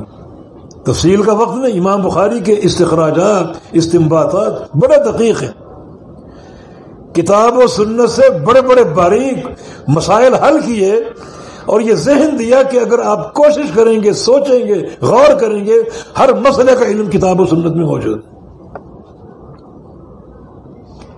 کل العلم فی القرآن لیکن تقاصر عنہ افہام الرجالی کتاب و سنت میں ہر چیز موجود ہے۔ ہاں تمہارے ذہن جو ہیں وہ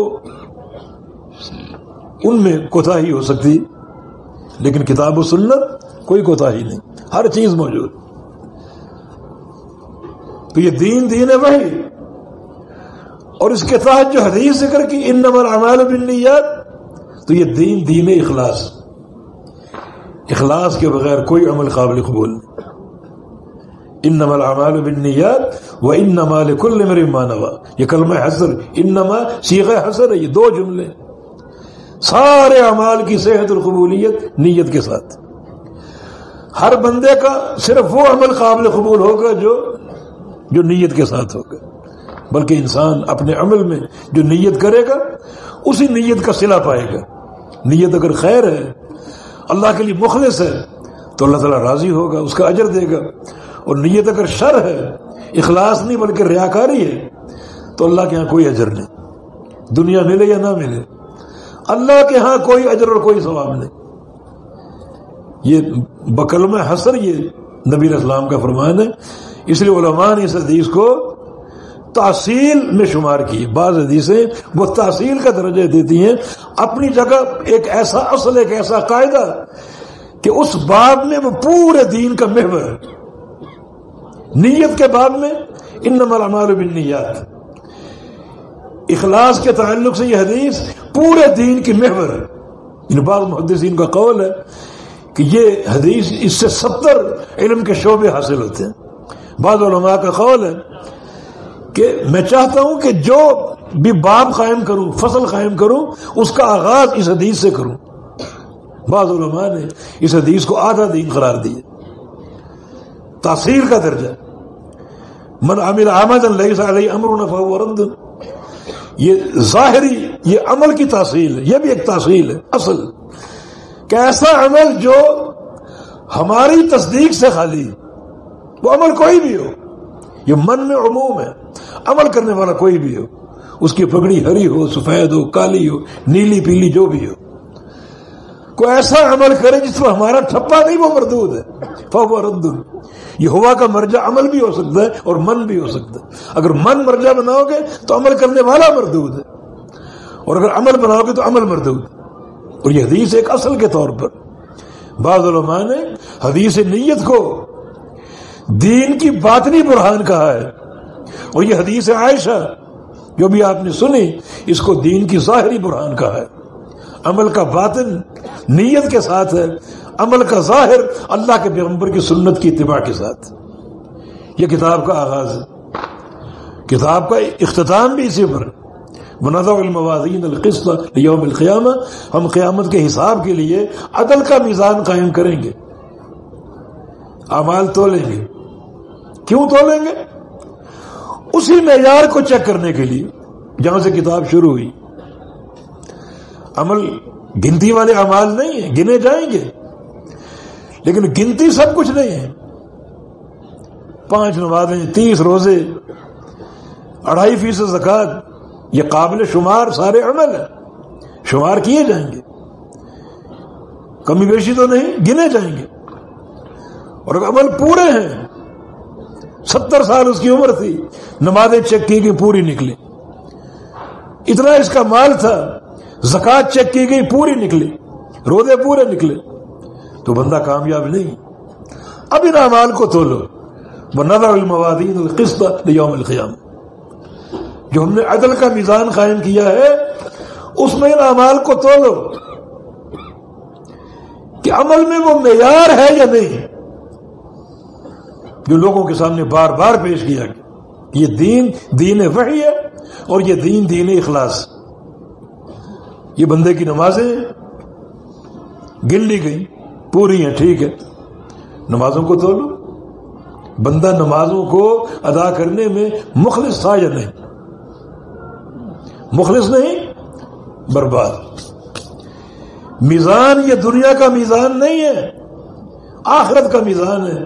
جس کو یہ صلاحیت دی گئی کہ صرف اس نیکی کو تولے گا وزن کے قابل قرار دے گا، جس نیکی میں یہ دو معیار ہو اخلاص نہیں ہے، خلاص، عمل ساقت اخلاص ہے، اب دوسرا معیار چیک کرو کہ اس کی نمازیں اللہ کے حبیب کے طریقے کے مطابق ہیں یا نہیں؟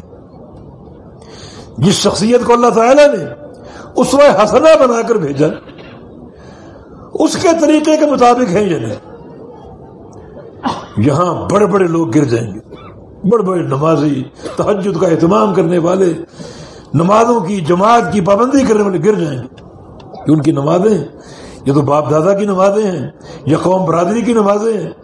سنت کی نماز نہیں ہے۔ سلو کمارے تم وسلی کی چھاپ ان کی نماز پر نہیں۔ سمجھانے والے، سمجھا سمجھا کر مر گئے کہ نماز نبوی طریقے سے پڑھو۔ اللہ کے پیارے پیغمبر کی سنت کے مطابق پڑھو۔ نہیں۔ میں نہیں مانوں۔ یہ ہمارے یہاں ہے، تمہارے یہاں نہیں۔ لیکن آج یہ فیصلے کی گھڑی، یہ مرحلہ میزان، اسی معیار کو چیک کرنے کے لیے۔ اور یہ میزان اس عمل کو وزن کے قابل سمجھے گا، جس عمل میں یہ دو چیزیں موجود۔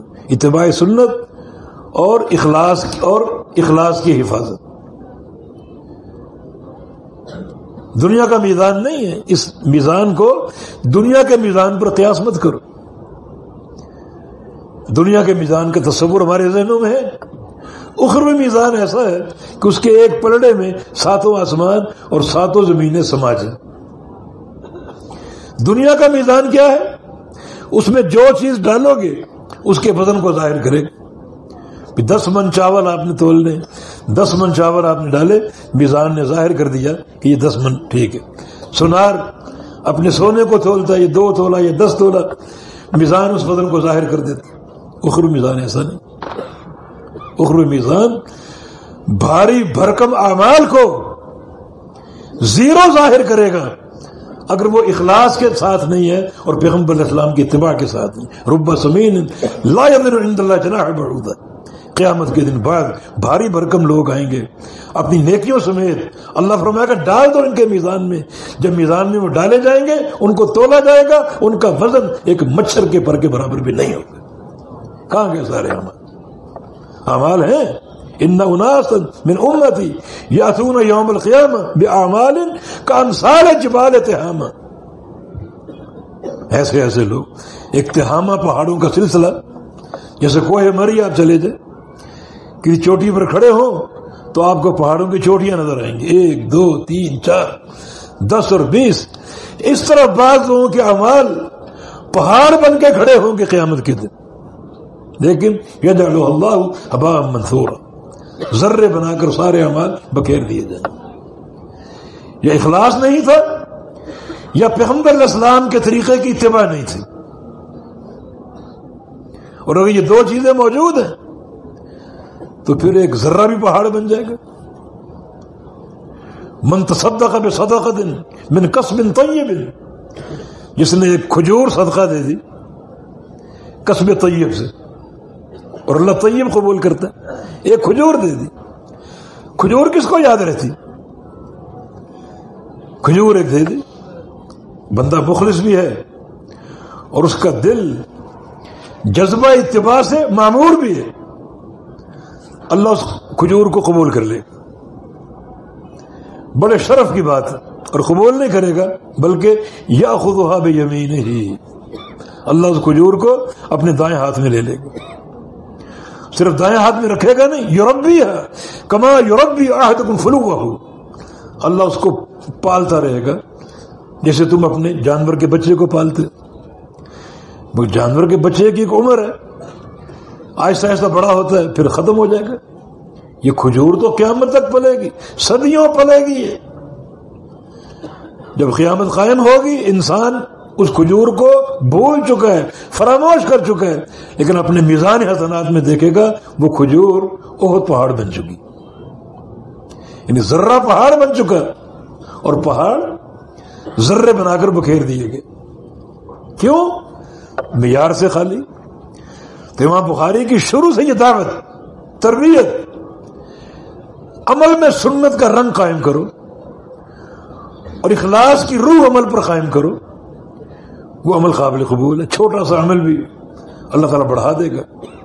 اور بڑے سے بڑے عمل بھی اگر اخلاص سے خالی ہیں یہ سنت کی اتباع سے خالی ہیں، وہ گر جائیں گے اور کوئی ان کی قدر و قیمت نہیں ہوگی۔ اسی نقطے پر صحیح بخاری کا اختتام ہو رہا ہے وہ نظر الموادین قصہ یوم القیامہ ہم قیامت کے حساب کے لیے یہ عدل کا میزان قائم کریں گے۔ بحمد العہد الحدیث ہر مرحلے پر سنت رسول کے متبع ہوتے ہیں۔ یہ ایک ہماری تربیت، ہماری سرشت میں شامل اللہ کے فضل سے۔ ہمارا بچہ بھی کسی بھی عمل کو کرنے سے پہلے اس کی دلیل مانگتا ہے۔ مگر بعد اوقات اخلاص کا فقدان ہوتا ہے۔ یہ شیطان کا ایک ایسا حملہ ہم پر کہ اکثر عمل میں اخلاص مفقود ہوتا ہے۔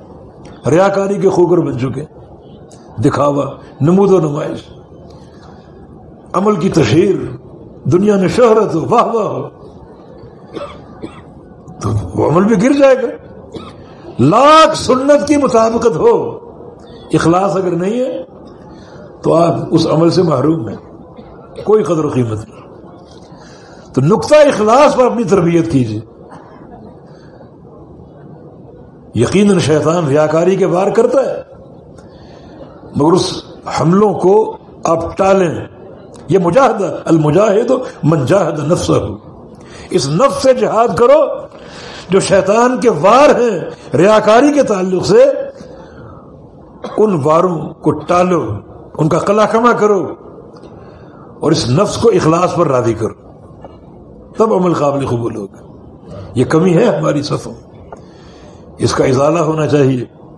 اللہ تعالی ہمیں حفظ نیت کی اور اخلاص کی توفیق عطا فرمائے۔ اللہ تعالیٰ کو اخلاص والا عمل محبوب ہے اور پسند ہے۔ غیر اللہ کے لیے کیا؟ دنیا کو دکھانے کے لیے کیا؟ اللہ فرماتا ہے، میں اس کی تقسیم نہیں کروں گا، تمہیں بھی چھوڑ دوں گا، تمہارے عمل کو بھی چھوڑ دوں ترک تو بشر ہر چیز چھوڑ دوں میں صرف وہ عمل قبول کروں گا جو میرے لیے خالص۔ تو نیتوں میں اخلاص پیدا کرو بڑے مجاہدے کے ساتھ۔ یہ ریاکاری کے بدھ کو توڑنے کی کوشش کرو۔ زبیر ابن عوام رضی اللہ ہواری رسول صلی اللہ علیہ وسلم اشر مبشرہ میں سے۔ ان کا ایک بڑا تاریخی قول من استطاع ان تکون له عند اللہ خبیت فلیفعل۔ اس سے سلف کی فکر کا اندازہ کیجیے اگر کوئی شخص یہ طاقت رکھتا ہو کہ اس کے اور اللہ کے درمیان ایک خبیہ ہو، تو ایسا کر جاؤ، اللہ راضی ہوگا۔ یہ خبیہ کیا ہے؟ ایک ایسا پوشیدہ معاملہ جو صرف آپ جانتے ہیں یا آپ کا رب جانتا ہے۔ تیسرا کوئی نہیں، نہ آپ کی بیوی جانتی ہے، نہ آپ کی اولاد جانتی ہے، نہ ماں باپ جانتے ہیں، نہ دوست احباب جانتے ہیں، نہ بچے جانتے، کوئی نہیں جانتا۔ وہ ایسا ایک عمل آپ کر گزرو، کرتے رہو، جو خبیہ ہو، ایک مخفی خزانہ ہو آپ کے اور پروردگار کے درمیان۔ یعنی کس طرح وہ اخلاص کی حفاظت کی تربیت کرتے ایک محدث کا ترجمہ پڑھ رہا تھا۔ یعنی غالباً چالیس سال کا ذکر ہے، انہوں نے روزے رکھے۔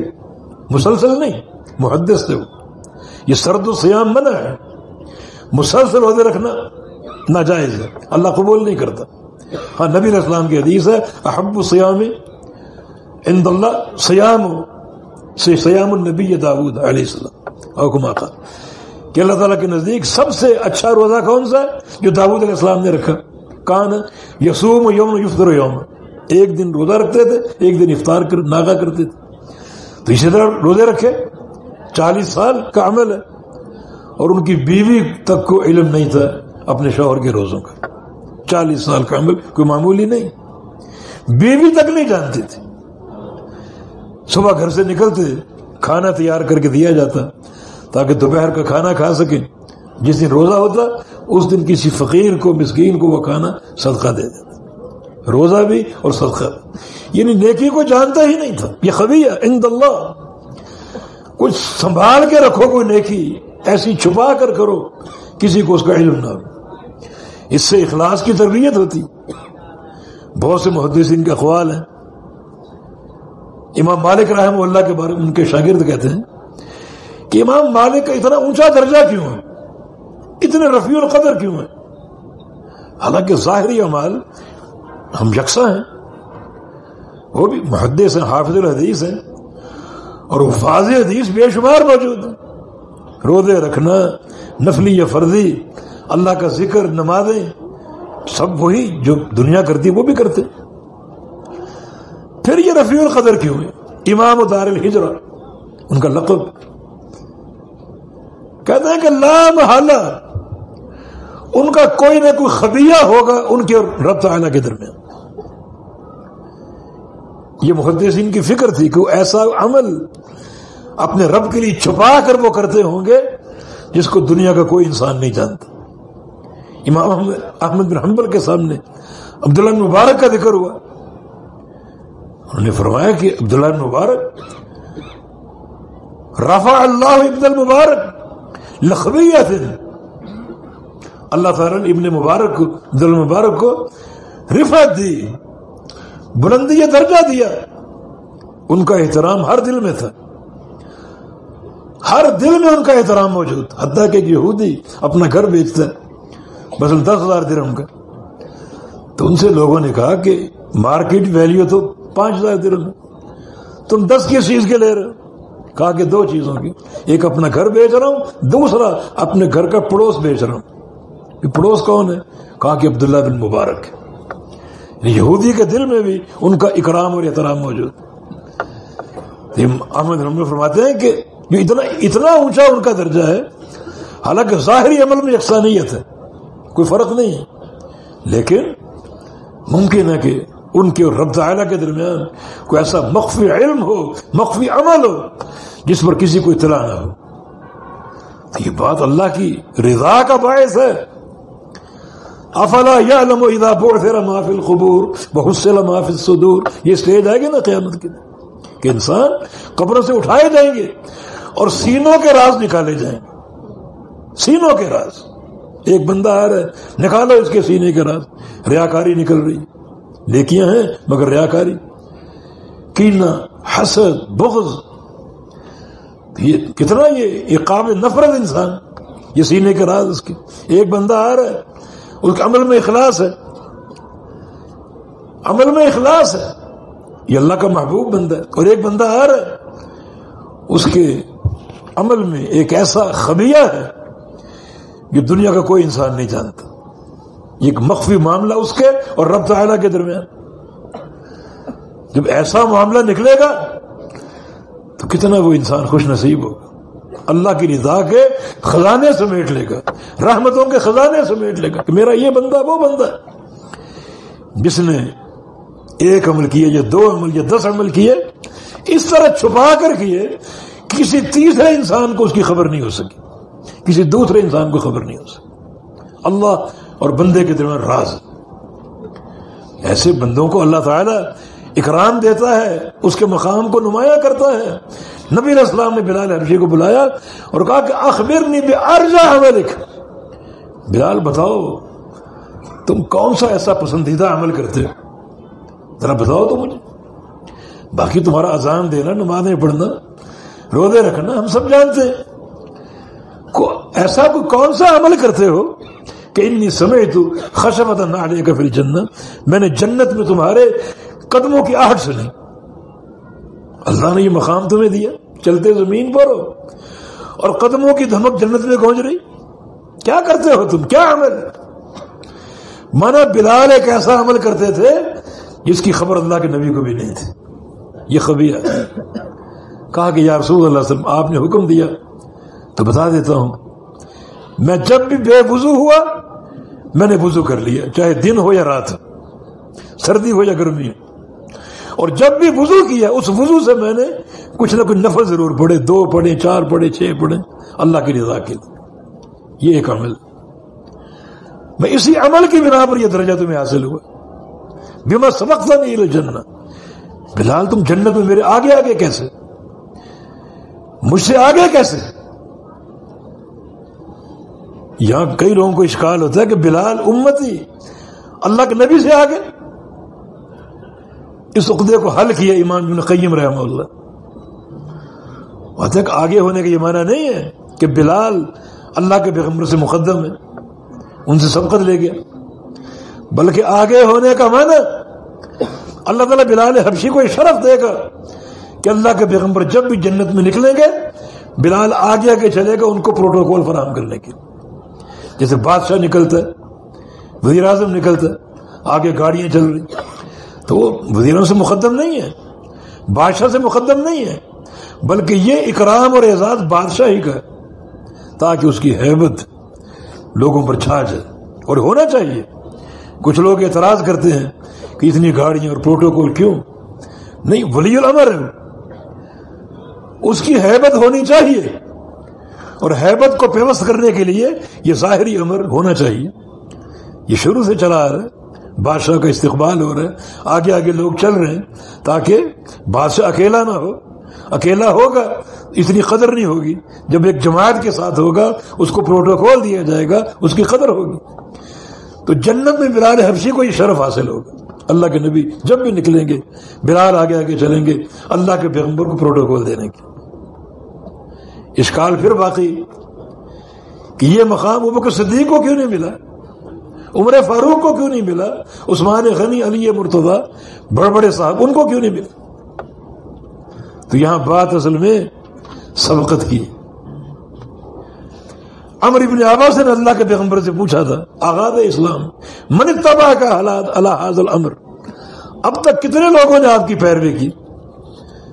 فرمایا کہ دو نے صرف، عبد المحرن ایک غلام ہے، بلال حبشی اور ایک آزاد ابو صدیق۔ باقی ایک بچہ ہے۔ علی اور ایک خاتون ہے خدیجہ، لیکن مردوں میں سے دو ہی ہیں۔ یہ سبقت سبقت کا شرف۔ پھر بلال کو ایک سبقت اور حاصل۔ وہ اللہ کے پیغمبر کے مؤذن تھے اور مؤذن کا کام پہلے پہنچنا، مسجد کو دیکھنا، اس کے امور کو دیکھنا، وضو کرنا، اذان دینا۔ لوگ اذان سن کے آتے ہیں۔ تو یہ بھی ایک سبقت۔ وہ سابقون سابقون وہ سابقون سابقون اس کی ایک تصویر یہ بھی ہے کہ السابقون فی الدنیا ہم السابقون یوم القیامہ۔ جو دنیا میں عمل میں سابق ہوں گے، سبقت جانے والے ہوں گے، وہ قیامت کے دن بھی سبقت کا شرف حاصل کریں گے۔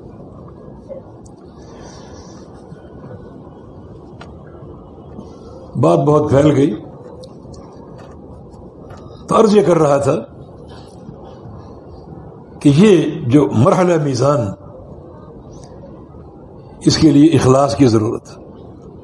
اور اخلاص کے لیے محنت کیجیے اور محنت میں نقطہ یہ بھی ہے کہ کوئی ایسے چند عمل آپس میں رکھیے جو خبیہ ہوں، راز آپ کے اور پروردگار کے درمیان۔ مثلا کوئی ذکر منتخب کر لے۔ رات کی کسی گھڑی میں، دن کی کسی گھڑی میں۔ ذکر تو اندر ہی کر رہے ہیں نا، دنیا تو نہیں سنتی اس کو ایک راز بنا کر رکھیں کہ فلاں ذکر میں روزانہ سو بار کروں۔ چھپا کر صدقہ دینا کہ بائیں ہاتھ کو معلوم نہ ہو سکے دائیں ہاتھ نے کیا خرچ کیا کبھی تاریخی میں اللہ کا ذکر کر کے آنکھوں سے آنسو بہانا۔ کوئی نہ جانے۔ کوئی نہ جانے۔ با صلف صالحین رات کو روتے تھے۔ صبح اگر کوئی زبان بھاری ہوتی، ناک بھاری ہوتی تو کہتے کہ رات بھر زکام رہا ہے اپنے قیام الحل کو چھپانے کے لیے۔ ابراہیم نقی رات بھر روتے اور صبح صابن سے اور ایسے مادے سے اپنے چہرے کو دھو کر لوگوں کے سامنے آتے جو چہرے کو صاف کرتے رونے کے آثار ختم کر دیتے۔ اللہ کے لیے ایک ایسا عمل جو اللہ کے لیے رات ہو خبی یہ اخلاص کی بہترین تربیت ہے، بہترین ٹریننگ۔ تو بار کیف ہم بات کو زیادہ پھیلانے کی بجائے اسی قدر کو کافی سمجھتے ہیں اور ہم نے عام فہم باتیں کی ہیں تاکہ کچھ میں بھی مستفید ہوں، آپ بھی مستفید ہوں۔ اللہ تعالی ہمیں علم و عمل کی توفیق عطا فرما دے۔ اللہ تعالی دینی اداروں کو قائم و دائم رکھے۔ یہ قرآن کی آیت امام بخاری کا محل استدلال۔ ونضع الموازین القسط یوم القیامہ الموازین جمع، حالانکہ میزان ایک ہے، لیکن یہ تفخیم کے لیے۔ تعظیم کے لیے اتنا بڑا میزان ہے کہ اس کو جمع کے سیغے سے ذکر کیا۔ جیسے قدبت قوم نوح المرسلین کہ قوم نوح نے مرسلین کی تقریب کی۔ حالانکہ نبی تو ایک تھا، مرسلین جمع کا سیغہ۔ یہ نو علیہ السلام کی تعظیم اور تفہیم کے لیے جنہوں نے ساڑھے نو سو سال تک توحید کی خدمت کی۔ یہ معمولی نہیں ہے۔ نو پر سلام ہو ہمارا۔ اس لیے جمع کا سیغ ہے الموازین القسط۔ صفت ہے موصوف، صفت موصوف جمع ہے، صفت واحد ہے۔ مطابقت نہیں، لیکن جب مصدر صفت ہو تو مطابقت کی ضرورت نہیں ہے۔ الموازین القسط بھی جائز ہے، میزانان قسطن بھی جائز ہے اور میزان القسطن بھی جائز ہے۔ یعنی مصدر میں فرق نہیں آتا، حتیٰ کہ تذکیر و تانیز کا بھی فرق نہیں ہے۔ اگر موصوف مونس ہے تو قسط مذکر ہی رہے گا۔ جیسے من عارض ذکر فإن له معیشت زن یہ موصوف صفت ہے معیشت زن معیشہ مونس ہے اور زن کا مذکر تو مصدر میں یہ درست ہے جائز ہے، کوئی غبار نہیں. تو امام بخاری کا استدلال اس آیت سے اور حدیث، جو سیدنا ابو حریرہ کی روایت سے. ابو حریرہ کا نام آئے گا، ہمارے دلوں میں ان کا احترام بڑھے گا، محبت پیدا ہوگی. اور یہ محبت صدق ایمان کی دلیل ہے۔ اور یہ محبت شرف ہے عہد الحدیث کا۔ باقی سارے فرقوں میں ابو حیرا کے تعلق سے کوئی نہ کوئی میل ضرور ہے۔ اور بالکل میل کچیل سے پاک اگر سوچ اور تصور ہے تو عہد الحدیث کا۔ ہمارے دل اس صحابی کی محبت سے موجزم ہے معمور اور لبریز ہے صحیح مسلم کی حدیث نبی اسلام کی دعا۔ ابو حیرا کو آپ نے دیکھا؟ اور دعا کی کہ اللہ احب ابدا کا حاضر ہو اے اللہ، اس بندے سے محبت کر اور اس کی ماں سے بھی محبت کر۔ وہ احبیب ہما الا عباد المؤمنین۔ اور اپنے سارے بندوں کا قیامت تک کے لیے اس کو محبوب بنا دے۔ مانا، ابو حیرا کی محبت صدق ایمان کی نشانی، مومنین کا محبوب۔ اور اگر کسی دل میں ابو حیرا کی نفرت ہے یا کوئی میل و کچیل ہے، چاہے وہ ذرے کے برابر کیوں نہ ہو، وہ جائے اور اپنے ایمان کا محاسبہ کرے۔ اس کا ایمان مشکوک ہے۔ قابل قبول نہیں۔ قابل قبول ایمان کی جو نشانیاں ہیں، ان میں سے ایک نشانی یہ ہے کہ ابو ریرا کی محبت۔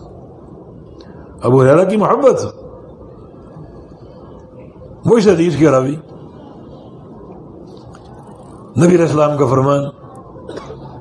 کلمتان حبیبتان الى الرحمن، خفیفتان علی اللسان، ثقیلتان فی المیزان سبحان اللہ بحمدہ سبحان اللہ علیہ یہ دو کلمے کلمہ مانا جملہ۔ کلمہ لفظ مفرد کو بولتے ہیں اور جملہ کلام تام کو۔ یہاں کلمہ مانا جملہ ہے۔ عربی لغت میں کلام کی جگہ کلمے کا لفظ استعمال ہوتا ہے۔ وہ کلمہ تم بہا کلام قدی ام الفی میں آپ نے پڑھا۔ کالمتان بمانا جملہ تھان دو جملے. کیا ہیں وہ دو جملے؟ حبیب الرحمن. محبوب ہیں رحمان کی طرف، رحمان کی وہ دو جملے رحمان کو محبوب ہیں. یہ چھوٹا سا جملہ ہے. اس میں رحمان کی دو صفات مذکور. میں کیوں نہ اپنے مسلک کی شان بیان کروں. دو صفات مذکور ہیں. ایک صفت محبت دوسرا صفت رحمت صفت محبت حبیبتان سے ہم نے لی کہ دو کلمے اللہ کو محبوب ہے مانا اللہ محبت کرتا ہے۔ ادھر رحمان رحمان کو محبوب ہے یہ صفت رحمت رحمان سے ہم نے لی۔ رحمان اس کا نام ہے۔ اور کوئی نام صفت سے خالی نہیں ہوتا، بلکہ اس نام کا معنی اس کی صفت۔ سمی اس کا نام ہے۔ سننا اس کی صفت ہے۔ بصیر اس کا نام ہے، بصر دیکھنا اس کی صفت ہے۔ رحمان اس کا نام ہے، رحمت اس کی صفت صفات سے نام نہیں بنتے۔ نام سے صفات آتی، کیونکہ نام سارے توقیف ہی ناموں کا قبول کرنا یہ شریعت پر موقف ہے، کتاب و سنت پر۔ کسی اللہ کے فعل کو دیکھ کر اس کا نام مت نکالو۔ جیسے میں جاؤ ربو کا بلبالا کو صفن صفا۔ تیرا رب قیامت کے دن آئے گا۔ تو آنا اس کی صفت ہے، اس کا اس کا فعل ہے۔ مگر یہ نہ کہو کہ الجائی اس کا نام بن گیا، کیونکہ نام سارے توقیفی اب یہ حدیث آپ نے سنی بچے سے یم رب رب کا نزول فرمانا۔ تو یہ اس کا عمل ہے، فعل ہے۔ مگر اس فعل سے یہ نہ کہو کہ نازل اس کا نام ہے۔ صفات سے نام نہیں بنتے۔ کیونکہ نام سارے توقیف ہی ہیں، لیکن ناموں سے صفات بنے گی کیونکہ کوئی نام صفت سے خالی نہیں۔ رحمان سے صفت نکالی ہم نے رحمان ہمارا اس پر ایمان۔ اس کا محبت کرنا بھی حق ہے، اس کا رحمت کرنا بھی حق ہے، ہمارا ایمان ہے۔ اور یہ عہد الحدیث کا عقیدہ اور ایمان الحمد للہ کسی تحریف کے بغیر، کسی تعویل کے بغیر، کسی تشریح کے بغیر، کسی تعطیل کے بغیر یہ ہمارا ایمان بالکل صحابہ کے ایمان جیسا۔ اسما صفات پر جو نظریہ اور ایمان صحابہ کا تھا، وہ ہمارا۔ بحمد اللہ صفت محبت کو بھی مانتے ہیں اور صفت رحمت کو بھی مانتے ہیں، کسی تعویل کے بغیر۔ اب گمراہ فرقوں نے بعض میں انکار کی جیسے جہمیہ۔ جہمیہ منکر لفظوں کے منکر لفظ المعن منکر۔ معتدلہ الفاظ کو مانتے ہیں، مگر معنی سے خالی۔ وہ رحمان تو ہے، مگر رحمان کا معنی معلوم نہیں۔ رحمت معنی کرو گے، تشبیہ لازم آئی۔ تشبیہ سے بچنے کے لیے، جیسے عروف مقطعات میم، الفاظ ہیں، معنی معلوم نہیں۔ اس طرح اللہ کے نام ان کے معنی ہم نہیں جانتے۔ تو اسما ہے، مسمیات سے خالی، صفات سے خالی۔ سمیع ہے، بلا سمع، بصیر ہے، بلا بصر، حکیم ہے، بلا حکمت۔ یہ بھی الحاد ہے۔ اور جن طوائف سے ہمیں واسطہ پڑتا ہے مطابلین عشاعرہ ماتری دیا وہ انکار تو نہیں کرتے۔ بظاہر ایمان لاتے مگر تعویلیں کر کے وہ انکار سے بھی بدترین معذور میں گر گئے۔ کہتے بارش سے بھاگا، بھیگ نہ جاؤں اور جا کر پرنالے کے نیچے کھڑا ہوگی ابن قیم فرماتے ہیں کہ عشاعرہ ماتوریجہ کی تعویل جو ہے جہمیہ کے انکار سے بدتر کم از کم کھلم کھلا سامنے ہے۔ مگر یہ قبول کر کے انکار کرتے ہیں۔ منوا کر اس کا انکار کرواتے ہیں۔ ہمارا ایمان، اب یہ کہتے ہیں کہ صفت محبت، صفت رحمت اب ثابت تو ہے، انکار نہیں کر سکتے۔ مگر تشبیہ لا دے ماری محبت مخلوق بھی کرتی ہے۔ اگر مان لے کہ اللہ بھی محبت کرتا ہے، یہ مشابہت۔ رحمت کا جذبہ مخلوق کے اندر بھی ہے۔ اگر مان لے کہ اللہ بھی رحمت کرتا ہے تشبیہ لا دے ماری اور ایک محضور اور بھی ہے کہ محبت تغیر کا مستلزم ہے، رحمت بھی تغیر کا مستلزم نفرت ہو تو جذبہ کچھ اور ہوتا ہے، محبت ہو تو کچھ اور ہوتا ہے۔ رحمت ہو تو اندر کی کیفیت کچھ اور ہوتی ہے، غصہ ہو تو کیفیت اور ہوتی ہے۔ اور رحمان تغیرات سے پاک ہے۔ اللہ کے بندو یہ باتیں کرنے کی ضرورت۔ ہم اسماء صفات کے باب میں داخل ہوئے ہیں۔ اللہ کے ایک فرمان کو پڑھ کر نہیں سکے مسلے ہی صحیح بس، اس جیسی کوئی چیز نہیں۔ جب اس نے فرما دیا، میں دیکھتا ہوں، ہمارا ایمان ہے۔ کیسے دیکھتا؟ ہے جیسے اس کے لائق۔ کیا ہماری طرح دیکھتا؟ ہے نہیں۔ کیوں؟ نہیں سکے مسل ہی سے اس نے فرما دیا، میں سنتا ہوں، ہمارا ایمان۔ کیسے سنتا؟ ہے جیسا اس کے لائق ہے۔ کمال کا سنتا۔ ہے ہماری طرح سنتا ہے؟ نہیں. کیوں؟ نہیں سکے مسل ہی سے. اس نے فرما دیا، میں عرش میں مسلم ہوں، ہمارا ایمان. مسلم کیسے؟ جیسے اس کے لائق ہے. استوا تو مخلوق بھی کرتی ہے. ہماری طرح؟ نہیں. کیوں؟ نہیں سکے مسل سے. یعنی یہ قاعدہ، ایک مثالی قاعدہ موجود اس کی ذات، اس کی صفات، اس کے افعال مخلوق کی تشویح سے بالکل پاک اور صاف. کوئی تشویح نہیں. خالق اور مخلوق میں تشویح کیسے ہو سکتی؟ پورے جہاں کا خالق کیا مخلوق جیسا ہو سکتا؟ مخلوقات میں تشویح نہیں ہے۔ ابھی رات ہے، یہ بتی آپ کی جل رہی ہے۔ صبح سورج ہوگا۔ کوئی تشریح ہے دونوں میں؟ اس کا بھی نور ہے اور سورج کا بھی نور ہے۔ کوئی تشریح ہے؟ یہ بھی مخلوق ہے، وہ مخلوق۔ وہ کہتے ہیں ہاتھی کی ٹانگ اور چونٹی کی ٹانگ، دونوں مخلوق۔ کوئی تشریح ہے؟ تو خالق اور مخلوق میں تشریح کیسے ہو سکتی اب جو صفت رحمت میں اس طرح تعویلیں کرتا ہے، صفت محبت میں تعویلیں کرتا ہے، مجھے بتاؤ، وہ اللہ تعالی کی رحمت اور اس کی محبت کا مستحق ہو سکے گا؟ جب تم نے تعویلیں کر کے اللہ کی صفت کو مسق کر دیا، ایک بندہ قیامت کے دن اللہ کے چہرے کے دیدار کو نہیں مانتا، اس کو اللہ کا دیدار حاصل ہوگا؟ جب تم منکر ہو تو وہ صفت تمہیں کیسے حاصل ہوگی؟ جو رحمت کو نہیں مانتے، اپنی منمانی تعویلوں سے مانتے، اپنے مفہوم کے مطابق، اپنے فہم کے مطابق۔ بقول شیخ الاسلام رحمہ اللہ کے کہ اللہ تعالیٰ نے اپنا آپ پیش کیا قرآن حدیث، اپنا تعارف کرایا۔ یہ چاہتے ہیں کہ نہیں، ہم اپنی مرضی کا الہ کھڑا کریں۔ گے اس کے اندر اپنی مرضی کے صفات پیدا کریں گے۔ جو الہ کا تصور قرآن نے دیا، حدیث نے دیا، اس سے ہٹ کر اپنی مرضی کا الہ کھڑا کریں۔ کتنا بڑا الہاد ہے۔ جب رحمت کو نہیں مانتے، محبت کو نہیں مانتے، تو اللہ کی رحمت کے مستحق بنو گے، اس کی محبت کے مستحق بنو گے۔ اس حدیث کے جو نتائج سامنے آ رہے، اس کے مستحق بنو گے۔ ہرگز نہیں۔ ایمان شرط ہے۔ اور ایمان بھی ایسا جیسا آخر الحدیث کا ایمان ہے، ہر قسم کی تعویل سے خالی، تعطیل اور تشبیح سے خالی۔ یہ دو جملے رحمان کو محبوب ہیں۔ اور زبان پر ہلکے۔ ہلکے ہونے میں ایک ترغیب ہے۔ جب ہلکے ہیں، آسان ہے تو پڑھتے کیوں نہیں ہو؟ بار بار پڑھو، ایک آسان عمل تمہیں دیا جا رہا ہے۔ اس آسانی کو لے کر اللہ کا شکر ادا کرو۔ ایک تنبیہ اور بھی۔ بچے پیدا ہوتے ہیں، شروع میں ان کی زبان ہلکی ہوتی، دو سال کا، ڈیڑھ سال کا۔ مشکل اور بھاری الفاظ کو ان کی زبان اٹھا نہیں سکتی۔ تو ہم نے آسان کلمات دی ہیں۔ بچوں کی تعلیم کا، تربیت کا آغاز ان کلمات سے کرو۔ ان کی ننی اور معصوم زبانیں ان کلمات کو اٹھا لیں گی۔ اور شروع سے ان کے اندر اللہ کی توحید کا نور داخل ہوگا، اسماء صفات کا نور داخل ہوگا، بلکہ پوری توحید کا خزانہ ان کے اندر داخل ہو جائے گا۔ اسماء صفات کی پوری توحید جو ہے وہ اس بات اور نفی کے ساتھ۔ سبحان اللہ، یہ کلمہ نفی ہے تنظیح اور وہ حمد ہی اس بات۔